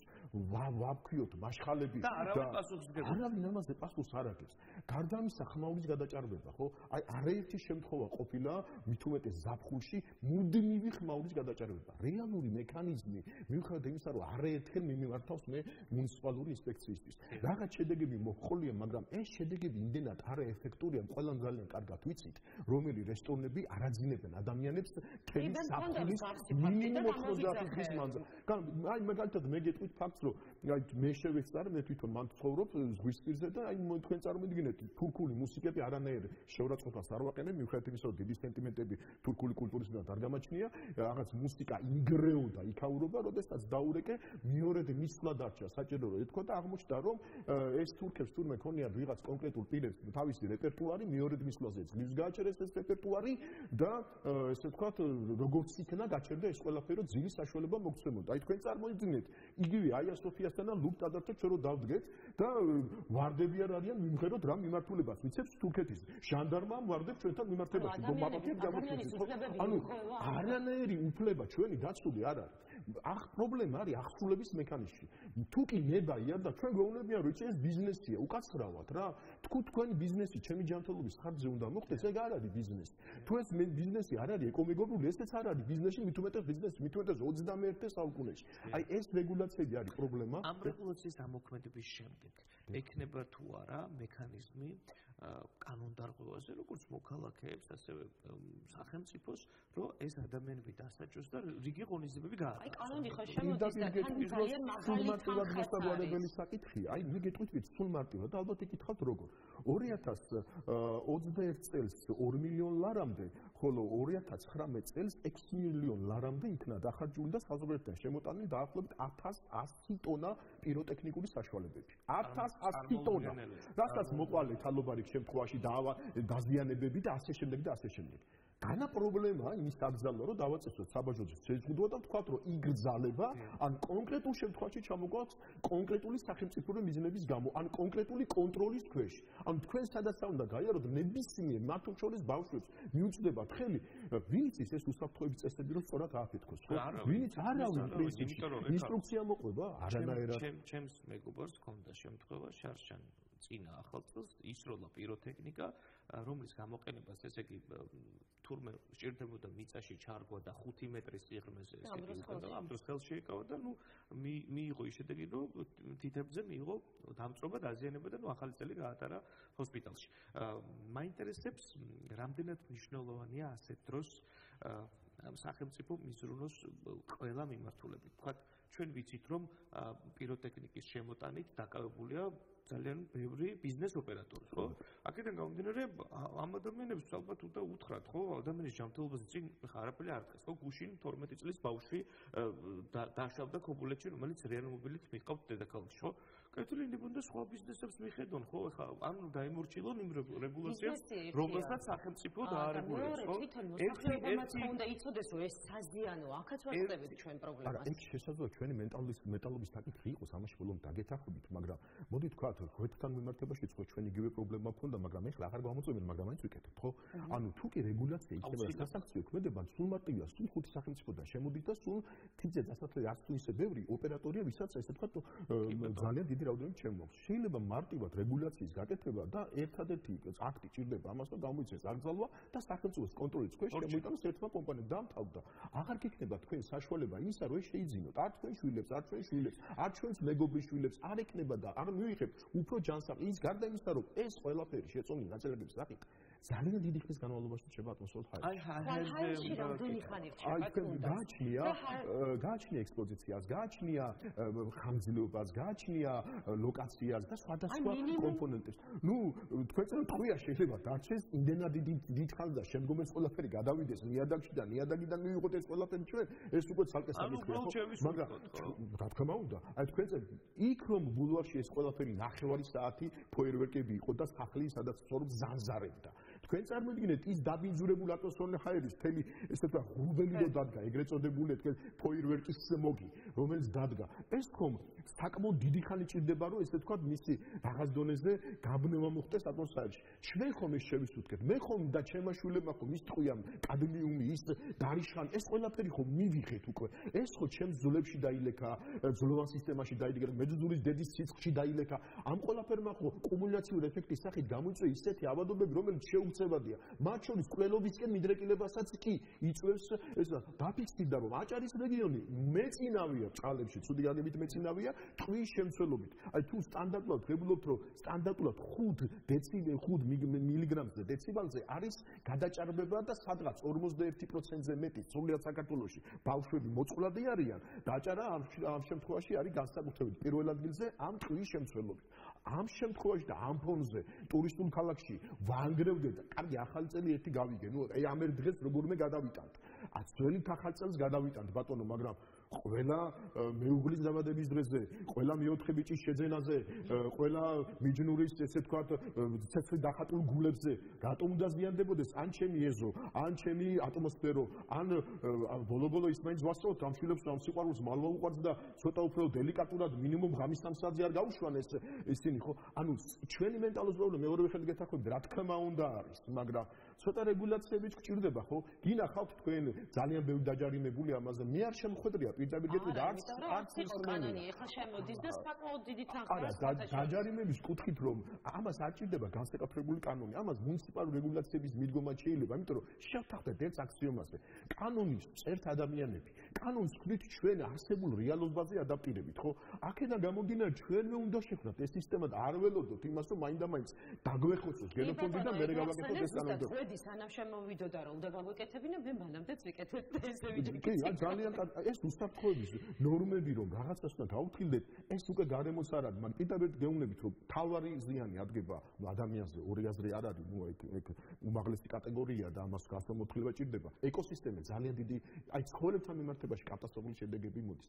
გავიგე რომ ეს მუდმივ ხანძლიეროს არის ამ შემთხვევაში ჩვენი სმენაც ხდება ჩვენ ნერვულ სისტემაზეც მოქმედებს გულსიძართა სისტემაზეც კი სიძარღვების შევიწროებასაც კი იწევს ხშირ შემთხვევაში ეს ეფექტი რასაც ჩვენ ვისმენთ. გავიგე რომ მე შეიძლება 8 საათი აგრძელდებოდეს რომ ლეთარული შედეგი თანთავდება მაგრამ მე ხომ დამიფრთხა ფეხზიმე მეუღლე დამიფრთხა პატარა შვილები დამერღვა ძილი დამერღვა სამუშაო პროცესი რატო ის მის შეკითხვა ხო რომელი და მარტო პიროტექნიკაზე ვისაუბროთ ჩვენ ახლა გლობალურად ვაწყდებით ძალიან ბევრ პრობლემებს ეს საწვავი იქნება ქარხანა იქნება აი ეს გამონაბოლქვები რომლებიც ასევე ძალიან მავნებელია ჩვენი შვილებისთვის და ჩვენთვისაც.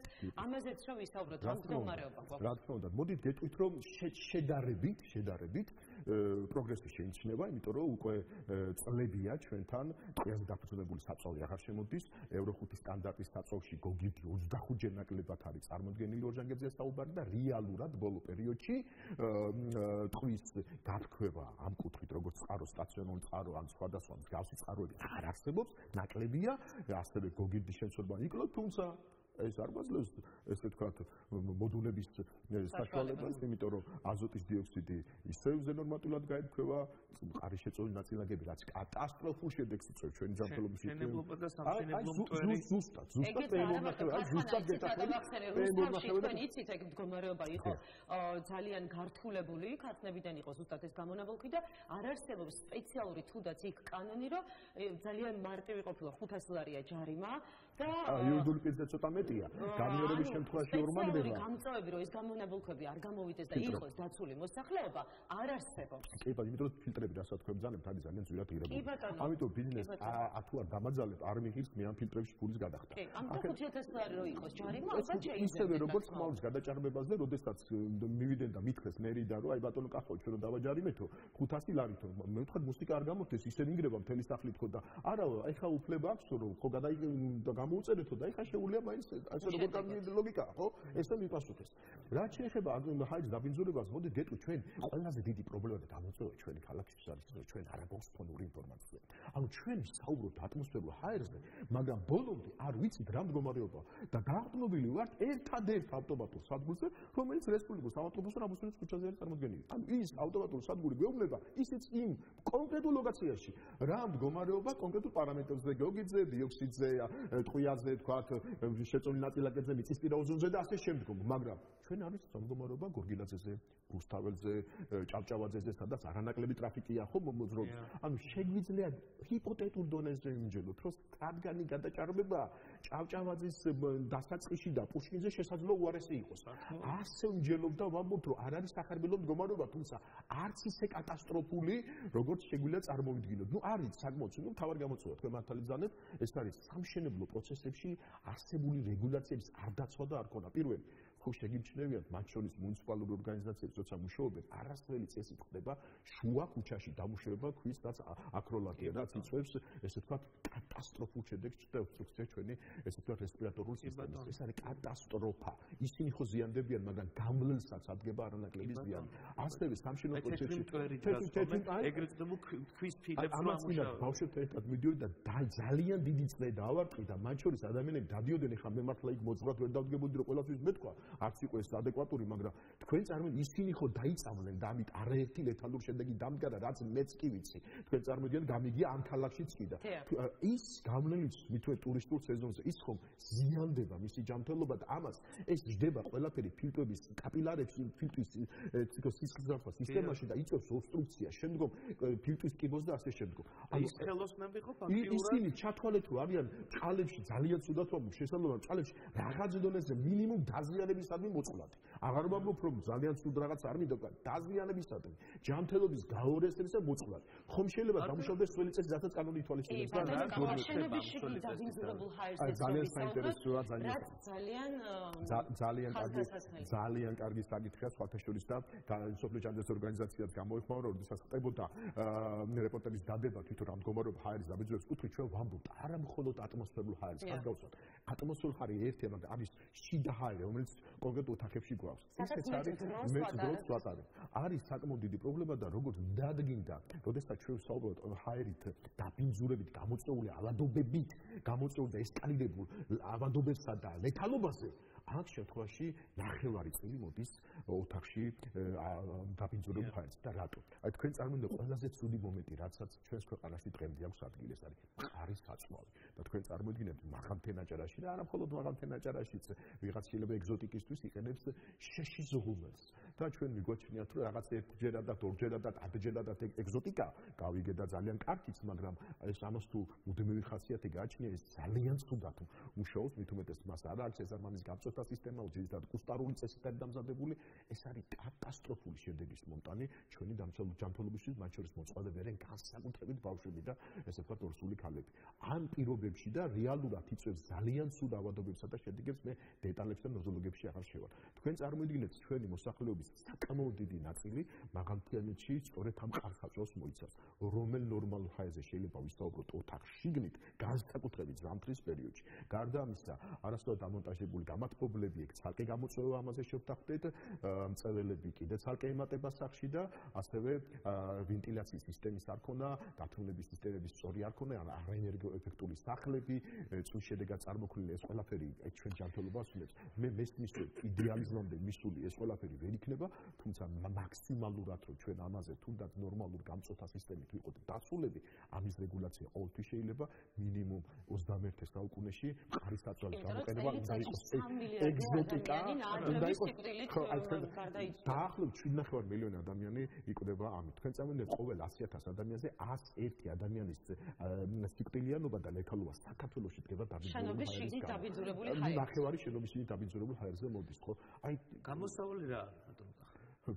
გაზეთიკაცია მაღალთენი აჭარის 21 საუკუნეა ბოლო-ბოლო და ეგზოტიკა უნდა იყოს თქვათ ესე თქვათ სესის ბუხარსიან გომესი გაკეთებული რაღაც ეს უნდა იყოს ეგზოტიკის ესთეტიკის თვალსაზრისით რაღაც მუზეუმის თემა თქვათ რაღაც აუთენტურობის ხაზგასმა მაგრამ მუდმივი მოხმარება ამ ყველაფრის ეს არ იწვევს კარგ შედეგებს გამეწმუნეთ, ხო?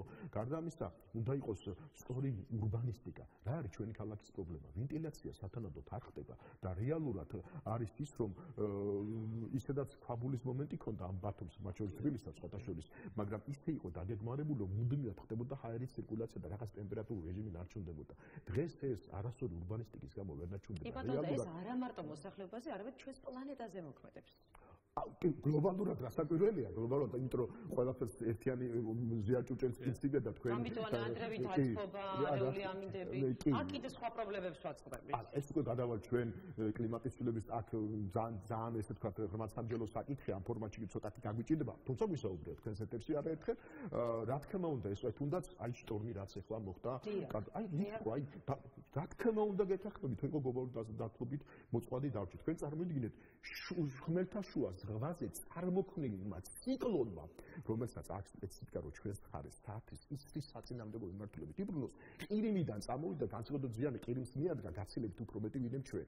წამოვიდა ჩვენამდე და მოგვაყენა ზიანი. გავიგე რომ 7 ვაბალი იყო ეს შტორმი, გავიგე რომ ძალიან დიდი ზიანი მოგვაყენა, თუმცა სწორი ნაპირსამაგრის სამუშაოების შემთხვევაში, სწორი კომპლექსური მიდგომის შემთხვევაში ეს ზიანი იქნებოდა, მე არ მინდა ეხლა, მაგრამ ზიანი იქნებოდა, თუმცა ეს ზიანი ამოდენა არ იქნებოდა. წარმოიდგინე, იმიტომ რომ მესმის რომ ეს ციკლონი ესეთი თქვა შვიდ ვაბალიანი, ესე თქვა მოარდენები არ არის ესე თქვა ხშირად, ხშირი, მაგრამ ყოველ შემთხვევაში შეიძლება ესეთი აბერიდებინა თავი ამ ყველაფრისთვის. ნუ ზიანი ყოფილიყო გაცილებული, ნუ განახევრებული იყო ზიანი მაინც. ნუ განახევრებული იყო მაინც. რეალურად რესტორნები წაიღო, მე არ ვიცი ხალხს ასე ტყვიან ის რესტორნებიც უკვე არ არის პრინციპში ისდიანი რაც მეადგა პრომინაც რაც ჩაყრილი ყველაფერი გადაანაწილა ქვიშახრეშოვანი ნარევის წავიდა არც ალბათ ბათუმის კონსტანტ იქნება ნაწილობრივ აკუმულირებული ნუ ერთ ცალკე თემა არის ხო რეალურად უნდა მივეჩიოთ ერთს მოდი ყველამ თავის საქმე რო ვაკეთოთ. და კომპლექსური მიდგომა გქონდეს რომ გავაკეთოთ საკით გადაჯათ არა ერთჯერადად რო თქვა ყოველწილად ხარჯოთ მილიონები ვყაროთ ყაროთ ყაროთ ეს ქვიშახრეშო რა თქმა უნდა კარტია თორმის საშუალება გვაქვს. მაგრამ იქნებ კომპლექსურად გადავჭარბეთ და თქვა რომ მოდი დაბალი საოპერაციო ხარჯებით მოვაგვაროთ ამ და ამიტომ არასდროს ჩიხური მდგომარეობა არსებობს არასწორი მიდგომები და არასათანადონება. აი გარი თელთლიანი გამოწვევა ბატონო გახა ჰაერის დაბინძურების კუთხით არ შემიძლია არ შევეხო ბათუმის ნაგავსაფხს რომელიც ფაქტიურად ახლა საფულში ვისარჩაულია ახალ ბულვარში შეუძლებელია იქ გაჩერება იმდენად არასასიამოვნო სუნია გაჟღენთილი ჰაერში ამ კუთხით როგორ უნდა ვიმოქმედოთ იმისათვის რომ დასახლებული პუნქტია ეს პრობლემა მოგვარდეს ნაგავსაყრელზე გაქვთ თუ არა ინფორმაცია. რა ის და რამდენად საზიანოა ეს პერიოდში შეიძლება ახალ ბულვარში უშუალოდ ჩემი კლუბის დარგიც ნაჩენების მართვა მე მადლობა ამ შეკითხვისთვის გაუსაძლისი სულთან ერთად მომაკუდინებელი სული დგას თუ დაბირგეტყვით იდეაში ის ჟანგვის პროცესი რაც არასდროს დეპონირებულ ნაჩენებთან მიმართებაში მიმდინარეობს იწვევს თბური აირების წარმოქმნას მათ შორის მეთანის რომელიც გლობალური პოტენციალის მქონე ესე ვთქვათ მაგნეტოქსიკური აირია და დათვლილია დაახლოებით პირობითი დათვლის მექანიზმებით რომ რამოდენი მილიონი კუბური მეტრი სწორედ მეთანი სწორედ ამ ნაგავსაღელიდან არის გაფრთხილებული არასასიამოვნო და არასასურველი კლიმატის პერიოდში ამის წინისწირება და ამის გადატანა ხდება მიმდებარე урბანისტიკაზე და თქვენ წარმოგიდგენთ იქ მასშტაბურ ადამიანებს არასასურველი ესე ვთქვათ სუნი როგორ აღჭურდა რამოდენ დისკომფორტს უქმნით ტურისტული ოსკარის ქონე ქალაქში რა თქმა უნდა უბრალოდ მანქანით გავიარო უკვე სუნია და იქ ცხოვრობდი რიგი ოფიციოზი აბრალებს ამას რომ არის ნაგავსაყრელი სუნი ნაგავსაყრელი აბრალებს რომ გამწევი ნაგებობის მეფიდარ ვიქეთ ორივე სუნია. თქვენ რომ მიხვიდეთ ერთგანად და მეორედანაც რამოდენიმე მეტრიც არ ცოტა თუნდაც 50 100 მეტრში დაინახავთ რომ ექსპონ თქვენ დაგახჭობთ იმიტომ რომ რეალურად მომწონელი სუნია. როგორ უნდა მოსწავლე მომაკვდინებელი სუნია მომაკვდინებელი იმიტომ რომ თქვენ წარმოგიდგენთ მიხვდეთ იმის ეგ ადამიანები ცხოვრობენ. აა თქვენ წარ ნუ ეგ არ არის ასურე ყველა ნორმის დაღვით არის, იმიტომ რომ შემოღობილიც არ არის, იქ ეკვებება სუპერკოს აკონელი, შემდგომ იმით კეთება მაწონი, რომელიც შემოდის ჩვენს კვების ჯაჭვში, იმიტომ თქვენ რომ თქვა მიდიხართ და ყიდულობთ სოფლიდან ჩამოტანილი მაწონს, ან რძეს და ყველს და რაღაც რაღაცა თქვენ ახლა იმის ნოხამ საშველი აღარ არის აა საშველი არის, მოგვარებულია, საკითხი მოგვარებულია, იმიტომ რომ არსებობს ახალი ნაგავსაყრელი, სანიტარული, საქართველოსი საუკეთესო თუ ნომერი პირველი არა, ქობულეთში ცეცხლაუში, რომელიც აშენებულია, თუმცა რიგი მიზეზების გამო ჩემი პოზიცია არის რომ მენეჯმენტის გაუმართავობის გამო მენეჯმენტი არა ღირსეული არასრულფასოვანი მენეჯმენტის გამო დღემდე ვერ შევიდა ფუნქციონებაში. თორე რეალურად უკვე წლებია კანონდარღვევით იყრება მუნიციპალური ნარჩენები გონიოს ნაგავსაყრელ პოლიგონს. აი სწორედ ოდესაც ცეცხლაუს ნაგავსაყრელი სანიტარული შევა, რომელიც ევროკავშირის სტანდარტების დონეზე გაკეთებული ექსპლუატაციაში, აი შემდგომ იწყება უკვე პროცესი სხვადასხვა ორგანიზაციების ფინანსური მხარდაჭერით ამ ნაგავსაყრელს რომ თქვენ ახსენეთ, სწორედ ამ ნაგავსაყრელს დახურის პროცედურა, რაც საბოლოო ჯამში გადაჭრის არის, ანუ საკითხი მოგვარებული. უტილიზაცია. უსამჯელო მოგვარებულია, უბრალოდ დრო ჭირდება, ბოდიშკიხტი, დრო ჭირდება, რომ გადავიდეს ეს ყველაფერი, ამოქმედეს და იმეც ვიტოვებ. სამწუხაროდ ჩემეჭები გამართა რომ 24-მდე არ აკმოქოდებოდა, გამართა ჩემეჭები ძალიან სამწუხაროა, მაგრამ თქვენ ერთერთის თქვი, მაგრამ ყოველ შემთხვევაში იმეც ვიტოვებ, რომ 24-ში დღის შუა პერიოდში მაინც შევა ეს ექსპლუატაციაში და 24-ის ბოლოს მაინც დავიწყებ ამ არსებულის დახურვას და ამით საბოლოო ჯამში ის გამოწვევა, ის უბინძურესი სპოტი რა ჩვენ ქალაქშია საბოლოოდ დარეგულირდება და პრინციპში ეს საკითხი შეიძლება ითქვას რომ კონცეპტუალურად გადაწყვეტილია. თუმცა ტექნიკურად იმას ბაზარებს ნუ თანამედროვე ქალაქი ნაგავსახრელის garaშე წარმოუდგენელი.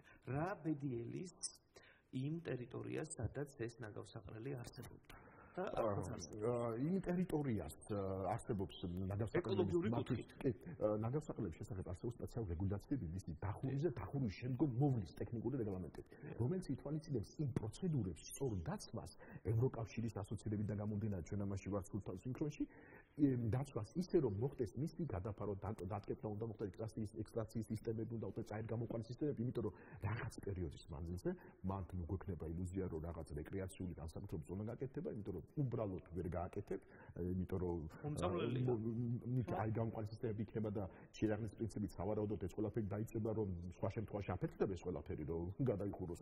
ხო, რა თქმა უნდა, იმიტომ რომ დაგროვდება ამდენიმე თემი და საბოლოო ჯამში კი 15-20 მეტრო სიმაღლე ეს დაიტკეპნება, წავა ჟანგვის პროცესი, ჟანგვის შედეგად გამოიყვება ანაერობულ გარემოში მეთანი, მეთანი დაგროვდება, დაგროვდება და იდეაში არასასრულ შედეგებს გამოიწვევს.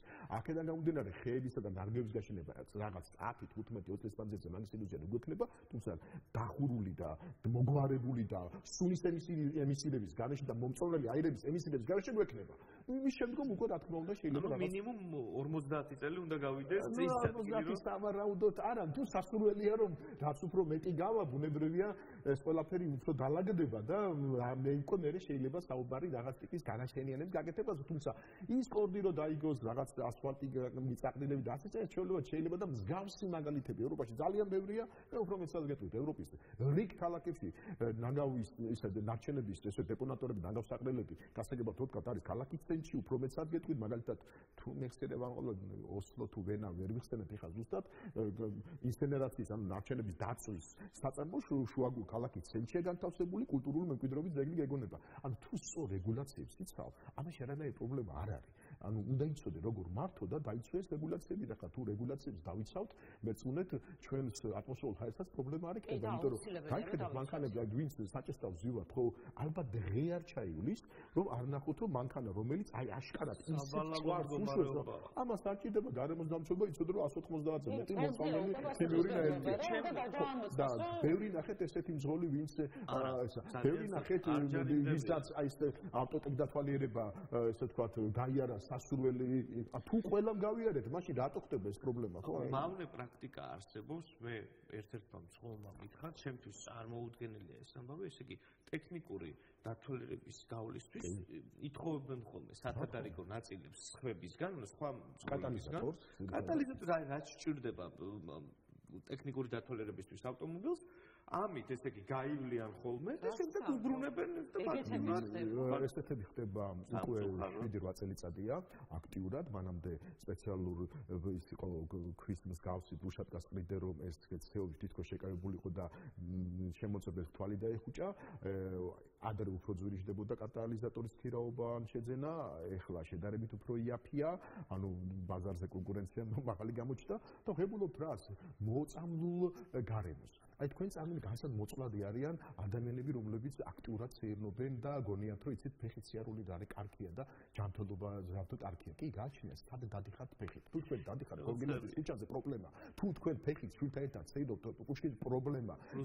რუსთავის პრობლემა იმიტომ არ არსებობს რომ მინიმუმ 10 წუთის რადიუსით თქვენ არ ჩამოგეროთ. მანქანა რომელიც იმოდენა ემისირება სახტეს მაგნეტოქსიკური აირებისა და ავტომატურად თქვენ ამას შესუძყვას ვერ გაიქცევით ვერ გაიქცევით ვერანაირად. ხო ახლა არ ამგონია რესპირატორული აიწენაღები დადიოდნენ. ნუ ვერ გაიქცევით. იდეაში მივიღეთ რა. გაკეთდა მსგავსი ამდენი ალერგიული დაავადებები. თქვენ წარმოგიდგენთ კვლევა პრობლემები. ერთ-ერთად სნობილმა ენჯიომ გააკეთა კვლევა თბილისში. ავლაბარში, საბურთალოზე და წერეთელზე თუ არ ვწდები, რაღაც ქუჩები აპლები მე მგონი აღმოჩნდა აი რამოდენი ქუჩა. და აღმოჩნდა რომ განსაკუთრებით მოწვადები იყვნენ მოხუცები და რატო? საპენსიო ასაკთან მიღწეულმა ღირსეულმა ადამიანებმა თქვენს რომ მოდით ეხლა მე ვიშრომე, ვიწვალე და მოდი ვისწეილებ და შვილიშვილს გავასწეილებ. და ასწეილებ შვილიშვილს აღმაშენებელზე წერეთელზე თბილისში და აღმოჩნდა რომ როდესაც მის ანალიზი გააკეთეს მის თმაში ტყვის შემცველობა დასაშვებზე მეტი იყო. მაშინ გადაფუძებული ბენზინები იყო ძირითადად ქვეყანაში. იყო მეტი. შედარებით უკეთესი მდგომარეობა იყო ავლაბაში თაცმინდას ნუ შედარებით უკეთესი მდგომარეობა იმიტომ იქაური პენსიონერები მაინდა-მაინც აღმაშენებელ წერეთელზე არცინებენ ხოლმე. ანუ ამ ვისი თქვა მინდა აი ამ მარტივი ექსპერიმენტითაც შეგვიძლია დავადგინოთ რამდენად უარყოფითად მოწყვლადები ვართ განსაკუთრებით არიან ბავშვები აი ამ დაბინძურების მიმართ ან ნუ ამ პრობლემის მოგვარება სწორი მონიტორინგის შემთხვევაში სირთულეს წარმოადგენს. ეხლაც გამკაცდა თქვენ ეთერში სხვათა შორის ვიყავი თქვენ ქონდათ საკითხი დაყენებული ხილულ გამონაბოლქვზე. გამკაცდა უკვე დაიწყო აი სტატისტიკას თუ აიხებთ ათასობით არის დაჯარიმებული მათ შორის ბათუმშიც. მაგრამ ფაქტი არის ერთი რომ რომ არ არსებობს ყოველ 10 წუთში თქვენ იჯდეთ საჭესთან და არ დაინახოთ მანქანა რომელიც ქალაქს ჭვარტლავს და რატომღაც დავიჯერო რომ კიდევ ერთხელ დააჯარიმეს, კიდევ ერთხელ გაამკაცდეს და ეს მაინდა-მაინც ესე ვთქვათ აი ქალაქის ცენტრში საერთოდ არ იყოს ავტოტრანსპორტი და იყოს გარეუბაში. კიდევ უფრო მეტად იქნება ჯანსაღი გარემო და დაცული იქნება მოსახლეობა. აპრობირებული მეთოდოლოგია სხვათა შორის სწორი урბანისტიკის შემთხვევაში და როცა სწორი ქალაქ გეგმარება ხდება და ჩვენთან ეკალაგე თქვა სიმართლე ეს დიდი ფუფუნება და ამ ეტაპზე არა გვაქვს, ეს იქნება საუკეთესო გამოსავალი. მაგრამ ჩვენი მენტალობა უნდა შეიცვალოს ყველა იმიტომ პურის საყიდლად მაინდა-მაინც უშველებელი ვაგონის ხელა ჯიპებით არ უნდა მიდიოდეთ ამ სუპერმარკეტებში და მე არ უნდა გქონდეს პრეტენზია რომ სადავაყენო მანქანა შევეგუოთ იმას რომ კარგად გამიგეთ. არც ბრიუგია ესე თქვა განებიურებული საპარკინგე და არც ამსტერდამის საპარკინგე ფაქტებით მაგრამ იქ ხალხი არ აცხადეს პრობლემას ვიცით მე პარკინგი არ კეთილი ინებე და იარე ფეხით. ავტოტრანსპორტისა მუნიციპალური ტრანსპორტით ველოსიპედით და თუ გინდა მაინდა-მაინც უშველებელი ჯიპის ყიდვა მაშინ კონდეს მოლოდინი იმისა რომ ამ ქალაქში ვერ დააყენებ ისე როგორც შენ გინდა ყოველთვის. და პრეტენზია არც ქალაქზე არც მერიაზე და არც მოსახლეობაზე და სეთოთ არაფერს არ უნდა კონდეს. პრეტენზია უნდა კონდეს საკუთარ თავთან. ჯერ საკუთარ თავით უნდა დავიწყოთ იმას რომ პური საყიდა ზედმეტად არ არის მართლა არც ტრენდული და არც ლამაზი მიხვიდე უშველებელი ჯიპით გააჩერო ზებრაზე ჩაუკეტო შიშუმპირს გადასასვლელი და მე რეკომენდს პრეტენზია არაერთი ყოფილი ეგეთი ფაქტი თქვენს გადასარევოთ იცით და გავშუქებულად კიდე ტელევიზიით ხო და პრესითაც რომ სად დავაყენო მანქანა პარკინგი არ არის. ეგ არ არის ჩემი პრობლემა სად დააყენო? კეთილი ნებელ ფეხით იარე ფეხი დავდივარ მეც. ფეხი დადის მაჩორის ფეხითაც რა ქვია? თელი ევროპა ფეხით დადის თუ კი ავსტრიის პრემიერ-მინისტრი მიდის მუნიციპალ ტრანსპორტის რა ქვია ბოდიში და სამსახურში. თქვენი თქვენ მიხვდეთ სუპერმარკეტში ხო პურის საკითხად უშველებელი ჯიპის garaში ხო? ნუ არა მაგრამ ეგ არის ჩვენი მენტალობის პრობლემა. ჩვენ აი აქედან იწყება რევოლუცია. სანამ მეზობლის თვალის დასაცება დაგეყოლება დაყენებული ეზოში ის მანქანა რომელიც აფერში აღჭირდება არ ჩვენ კლასს არ შეეფერება იმიტომ რომ არ ვართ ის ადამიანი რომ მინიმუმ საჭიროება გქონდეს. სანამ ეს მენტალობა არ შეგვეცლება ნუ გვექნება მოლოდინი ჯანსაღ გარემოზე. აი ეს ხალხი იქნებიან მუდმივი პარაზიტები და მაბინძურებლები მუ ჩაიარეთ ნებისმიერ სკოლასთან ქალაქ ბათუმში. ორმაგად დაყენებული მანქანები მშობლები ელოდებიან რატომღაც მე მთელი ცხოვრება ფეხით ვიარე სკოლაში დარწმუნებულად თქვენს მაგრამ რა უცნებელია სკოლის კართან მოკითხვა? ამით საცობი შექმნა. თუმცა გაუდით იმიტომ არავინ ამაზე პასუხს არ თხოვს აი როდესაც 9ჯერ მეტყვია რომ არ დააყენო და გაჯარიმე კეთილ ზვინებებ და ამ ჩემს შუბს მივაკითხავ. ფეხით ან სადღაც მოშორებით ავაყენებ მანქანა არ დაემართება არაფერი. თუ ის ოდნავ ფეხით გაივის გამეწუნა თამაში. ნამდვილად ესია ეს იმას კი არნიშნავს რომ იმ ამსტერდამ ამსტერდამელმა და ევროპელმა არ იცის კაცო კარგი ცხოვრების გემო. უბრალოდ ის მიხვდა რომ ამ დიდი მანქანები და გამონაბოლქვი აზიანებს საკუთარ თავს საკუთარ ფილებს და მე საუკუნეში ცირკულარული ეკონომიკა გახდა ყველაზე ტრენდული და რა არის ცირკულარული ეკონომიკა? ის ნარჩენიც კი უხეშად თქვა რომელსაც თქვენ გადააგდებთ ხოლმე ის რესურსია. და უკვე ევროპის ბანკოს გერმანია განვითარებული ქვეყნები ამ რესურსს 4ჯერადაც იყენებენ? და ჩვენთან რა ხდება? პლასტიკი რომელიც შევაგროვებთ ესე ვთქვათ, შტაბელება დავპრესეთ, გადის თურქეთში, მზადდება ერჯერადი, ჭიქები, ჩანგლები, თეფშები, ისე ჩვენთან მოდის ორმაგ დახათ. რატომღაც არავის არ მოსწია თავში რომ მოდი ამ რეციკლირების წინა შეეწყოს ხელი და მოდი ნუ გავუშვებ თან პლასტიკს სხვაგან და ორმაგად ნუ არ ვიყიდი ჩვენ გავაკეთოთ ბოლო-ბოლო ეგთან ხახო შეიძლება ან გაკეთეს ფლექსი დაიგოს გზებიც კი იგება და საბავშვო მოედნები ამ ყველა. ანუ ცირკულარული ეკონომიკა დღეს ეს არის აქსიომა მსოფლიოში. დღეს ყველა გარად ეკოლოგიაზე და ცირკულარული ეკონომიკაზე. ძალიან დიდი მადლობა ბატონო კახა მოკლედ ისეთ თემებზე ვისაუბრეთ რომ ამის არ გათვალისწინება. უკვე ნუ არ გამოდის იმიტომ რომ ჩვენ მოსახლეობას გვეკისრება ის პასუხისგებლობა მადლობა, რომ გამოფრთხილდეთ ერთმანეთს, გამოფრთხილდეთ ჩვენ შულებს და გარემოს პირველ რიგში. დაგემშვიდობებით წარმატებებს ისურვებ. დიდი მადლობა და წარმატებები.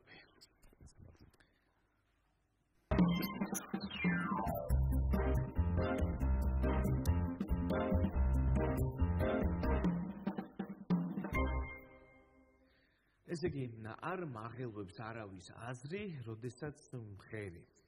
სიმღერის დროს უბრალოდ მწამს. ეს სიტყვები ლეგენდარულ ფრენკ სინატრას ეკუთვნის. ესე იგი, ეს ადამიანი 1915 წლის 12 დეკემბერს დაიბადა ნიუ-ჯერსში, ამერიკის შეერთებულ შტატებში. იგი იყო სულ გალურჯებული, ესე იგი, მე პირველად და შამები ჰქონდა სახეზე, როცა დაიბადა. ხო, და ესე იგი, მამამ გადაწყვიტა, რომ ბავშვი გარდაცვლილიო, თუმცა აა მოათავსა უმალ, ესე იგი, ფორს-მაჟორულ სიტუაციაში. სიუწყალში და ბავშვმა ტირილი დაიწყო. ეს საინტერესოდ მოევლინა ლეგენდარული მუსიკოსი. კი, და დედას გაუჭირდა მშობიარობა და სახეზე ქონდა რამოდენიმე შრამი და ამისგან იყო ძალიან დათგუნული ფსიქოლოგიურად, როცა წამოიზარდა ხო. კი, ესე იგი, ფრენკ სინატრა ისეთი მოვლენა ამერიკულ კულტურაში, რომელიც არ მოიცავს მარტო მუსიკას. აა, როდესაც ვემზადებოდი მის ისტორიას ვიცი ვკითხულობ და მეზადებოდი განსაკუთრებით აღმოჩნდა რომ ოსკარიც კი აქვს მიღებული დასამამიდან 10 და უკუნისამდე ასე ქვია ფილმს რომელსაც ესე იგი საუკეთესო მეორე ხარისხოვანი როლის წოდება მიენიჭა ეს 11 გრემის მფლობელიც არის. კი გრემის მფლობელია ამავდროულად მის ამ საოცარ წარმატებას წარუმატებლობაც ახდა თან სამჯერსა და თვითკვლელობა ფრენკმა და სამივეჯერ მოკლედ გამოვიდა ამ სტრესიდან. ცუდი ბიჭის იმიჯი ქონდა მორგებული თავის დროზე. ესე იგი, უკრავდა მღეროდა სხვადასხვა პაბებში. 13 წლის ასაკიდან დაიწყო სიმღერა და წარმოიდგინეთ ახლა 30-იანი წლებია ამერიკული განგსტერული ცხოვრება პიქს აღწევს და მეგობრობდა მაფიოზებთან, ასე მეგობრობდა პოლიტიკოსებთან. კენედი იყო სპათაშოლის ფრენკ სინატრას მეგობარი და მონაწილეობდა კენედის საპრეზიდენტო კამპანიაში. იმიტომ რომ როგორც წერდნენ ხოლმე იმ დროინდელი ჟურნალისტები, დაეხმარეს მაფიასთან დაულაგა ესე ვთქვათ და დაეხმარა გაპრეზიდენტებას. არა და ერთ ინტერვიუში ამბობს რომ მაბრალებენ რომ განსკტერებთანო მეგობრობო და ეგრეო არ არისო. და კენედის გარდაცვალების შემდეგ ძალიან განიცადა სხვათაშორის, როცა მოკლეს კენედი. სხვათაშორის ლეგენდარული ფილმი Godfather, ნათლი მამა. იქ ჯონი ფონტეინი არის ვერსია, რომ ფრენკ სინატრას პროტოტიპი. აა სინატრა სასმელთან ძალიან მეგობრობდა, ესე იგი ციტატას დავიკითხავ, ესე იგი სვამ 4 ჭიქა 4 4 ყინულის ნატეხით ჯეკ დენიელს და ვთვლი რომ ეს ჯენტლმენების სასმელიაო. ალკოჰოლი შეიძლება იყოს ყველაზე სასტიკი ტერი ადამიანის, მაგრამ ბიბლია გვეუბნება რომ გიყვარდეს ტერი შენი. ეს ფრაზა ეკუთვნის ჯონ კენედის. მის მსახიობობაზე უკვე ვისაუბრე, 4ჯერ იყო დაქორწინებული, პირველი ცოლისგან ნენსი ბარბატოსგან მას სამი შვილი ჰყავდა, ის ასევე დაქორწინებული იყო მია ფაროუსთან და ევა გარდნერთან, ასევე ბარბარა მარქსთან, რომელთანაც უკვე სიკვდილამდე გაატარა თავის დარჩენილი ცხოვრება. 1976 წელს მეოთხედჯერ დაქორწინდა, ესე იგი ფრენკ სინატრა. კი, და აღსანიშნავი არის ის, რომ მიუხედავად ამ დიდი მიღწეული წარმატებისა, ყოველთვის ამბობდა, რომ მე არ მეგულება ადამიანი, რომელსაც აქვს მიზანი და სურვილი, რო არ მიაღწიოს აი მოცნებას, რაც აქვს ჩაფიქრებულიო და ეს თავის კარიერას ეთყობა კიდევაც. ნამდვილად გენიოსი იყო ეს ადამიანი და დატოვა ის ისტორია, რომელიც დღემდე უკვდავია. კი და My Way მისი ერთ-ერთი გამორჩეული ჰიტია, გირჩევთ ვისაც არ გაქვთ მონასმენი, აუცილებლად მოусმინოთ და New York, New York მისი ცნობილი ჰიტი. სხვათაშორისო 50-იან წლებში ცოტათი დეპრესიაში ჩავარდა, იმიტომ რომ თითქოს მისი მზე ჩაესვენაო იმ პერიოდის იმ პერიოდის ჟურნალისტები ესე წერდნენ, როდესაც ესე იგი Times Square-ში შეინიშნა, მან დაინახა გოგონები, რომლებიც შედიოდნენ ახლად გამომწყინებული ვარსკვლავის ედი ფიშერის კონცერტზე, ხოლო სინატრა დაბრუნდა ესე იგი თავის მინაში და დეპრესიაში ჩავარდნილი თვითმყოფობასა და თუმცა მისმა მენეჯერმა ის იხსნა ამ დეპრესიისაგან და ფაქტობრივად იშვიათი შემთხვევაა, როდესაც ამხელა ჩავარდნის შემდეგ ფრენკი დაბრუნდა დიდ სცენაზე და გამოცვალა ყველა პროდიუსერი, მხატვარი, აბსოლუტურად ყველა ადამიანი გამოცვალა და დაიწყო ახალი ეტაპი თავის ცხოვრებაში.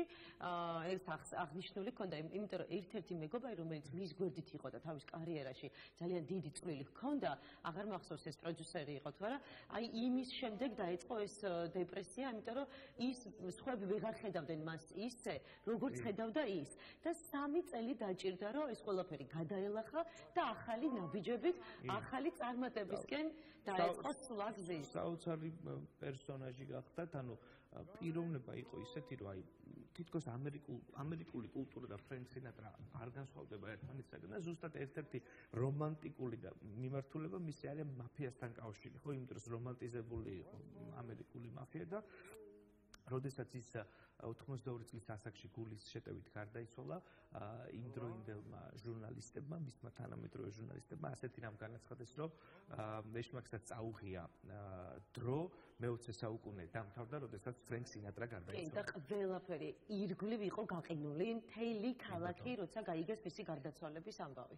ესეთი იყო დღევანდელი გადაცემა, ჩვენ გემშვიდობებით ხვალობთ.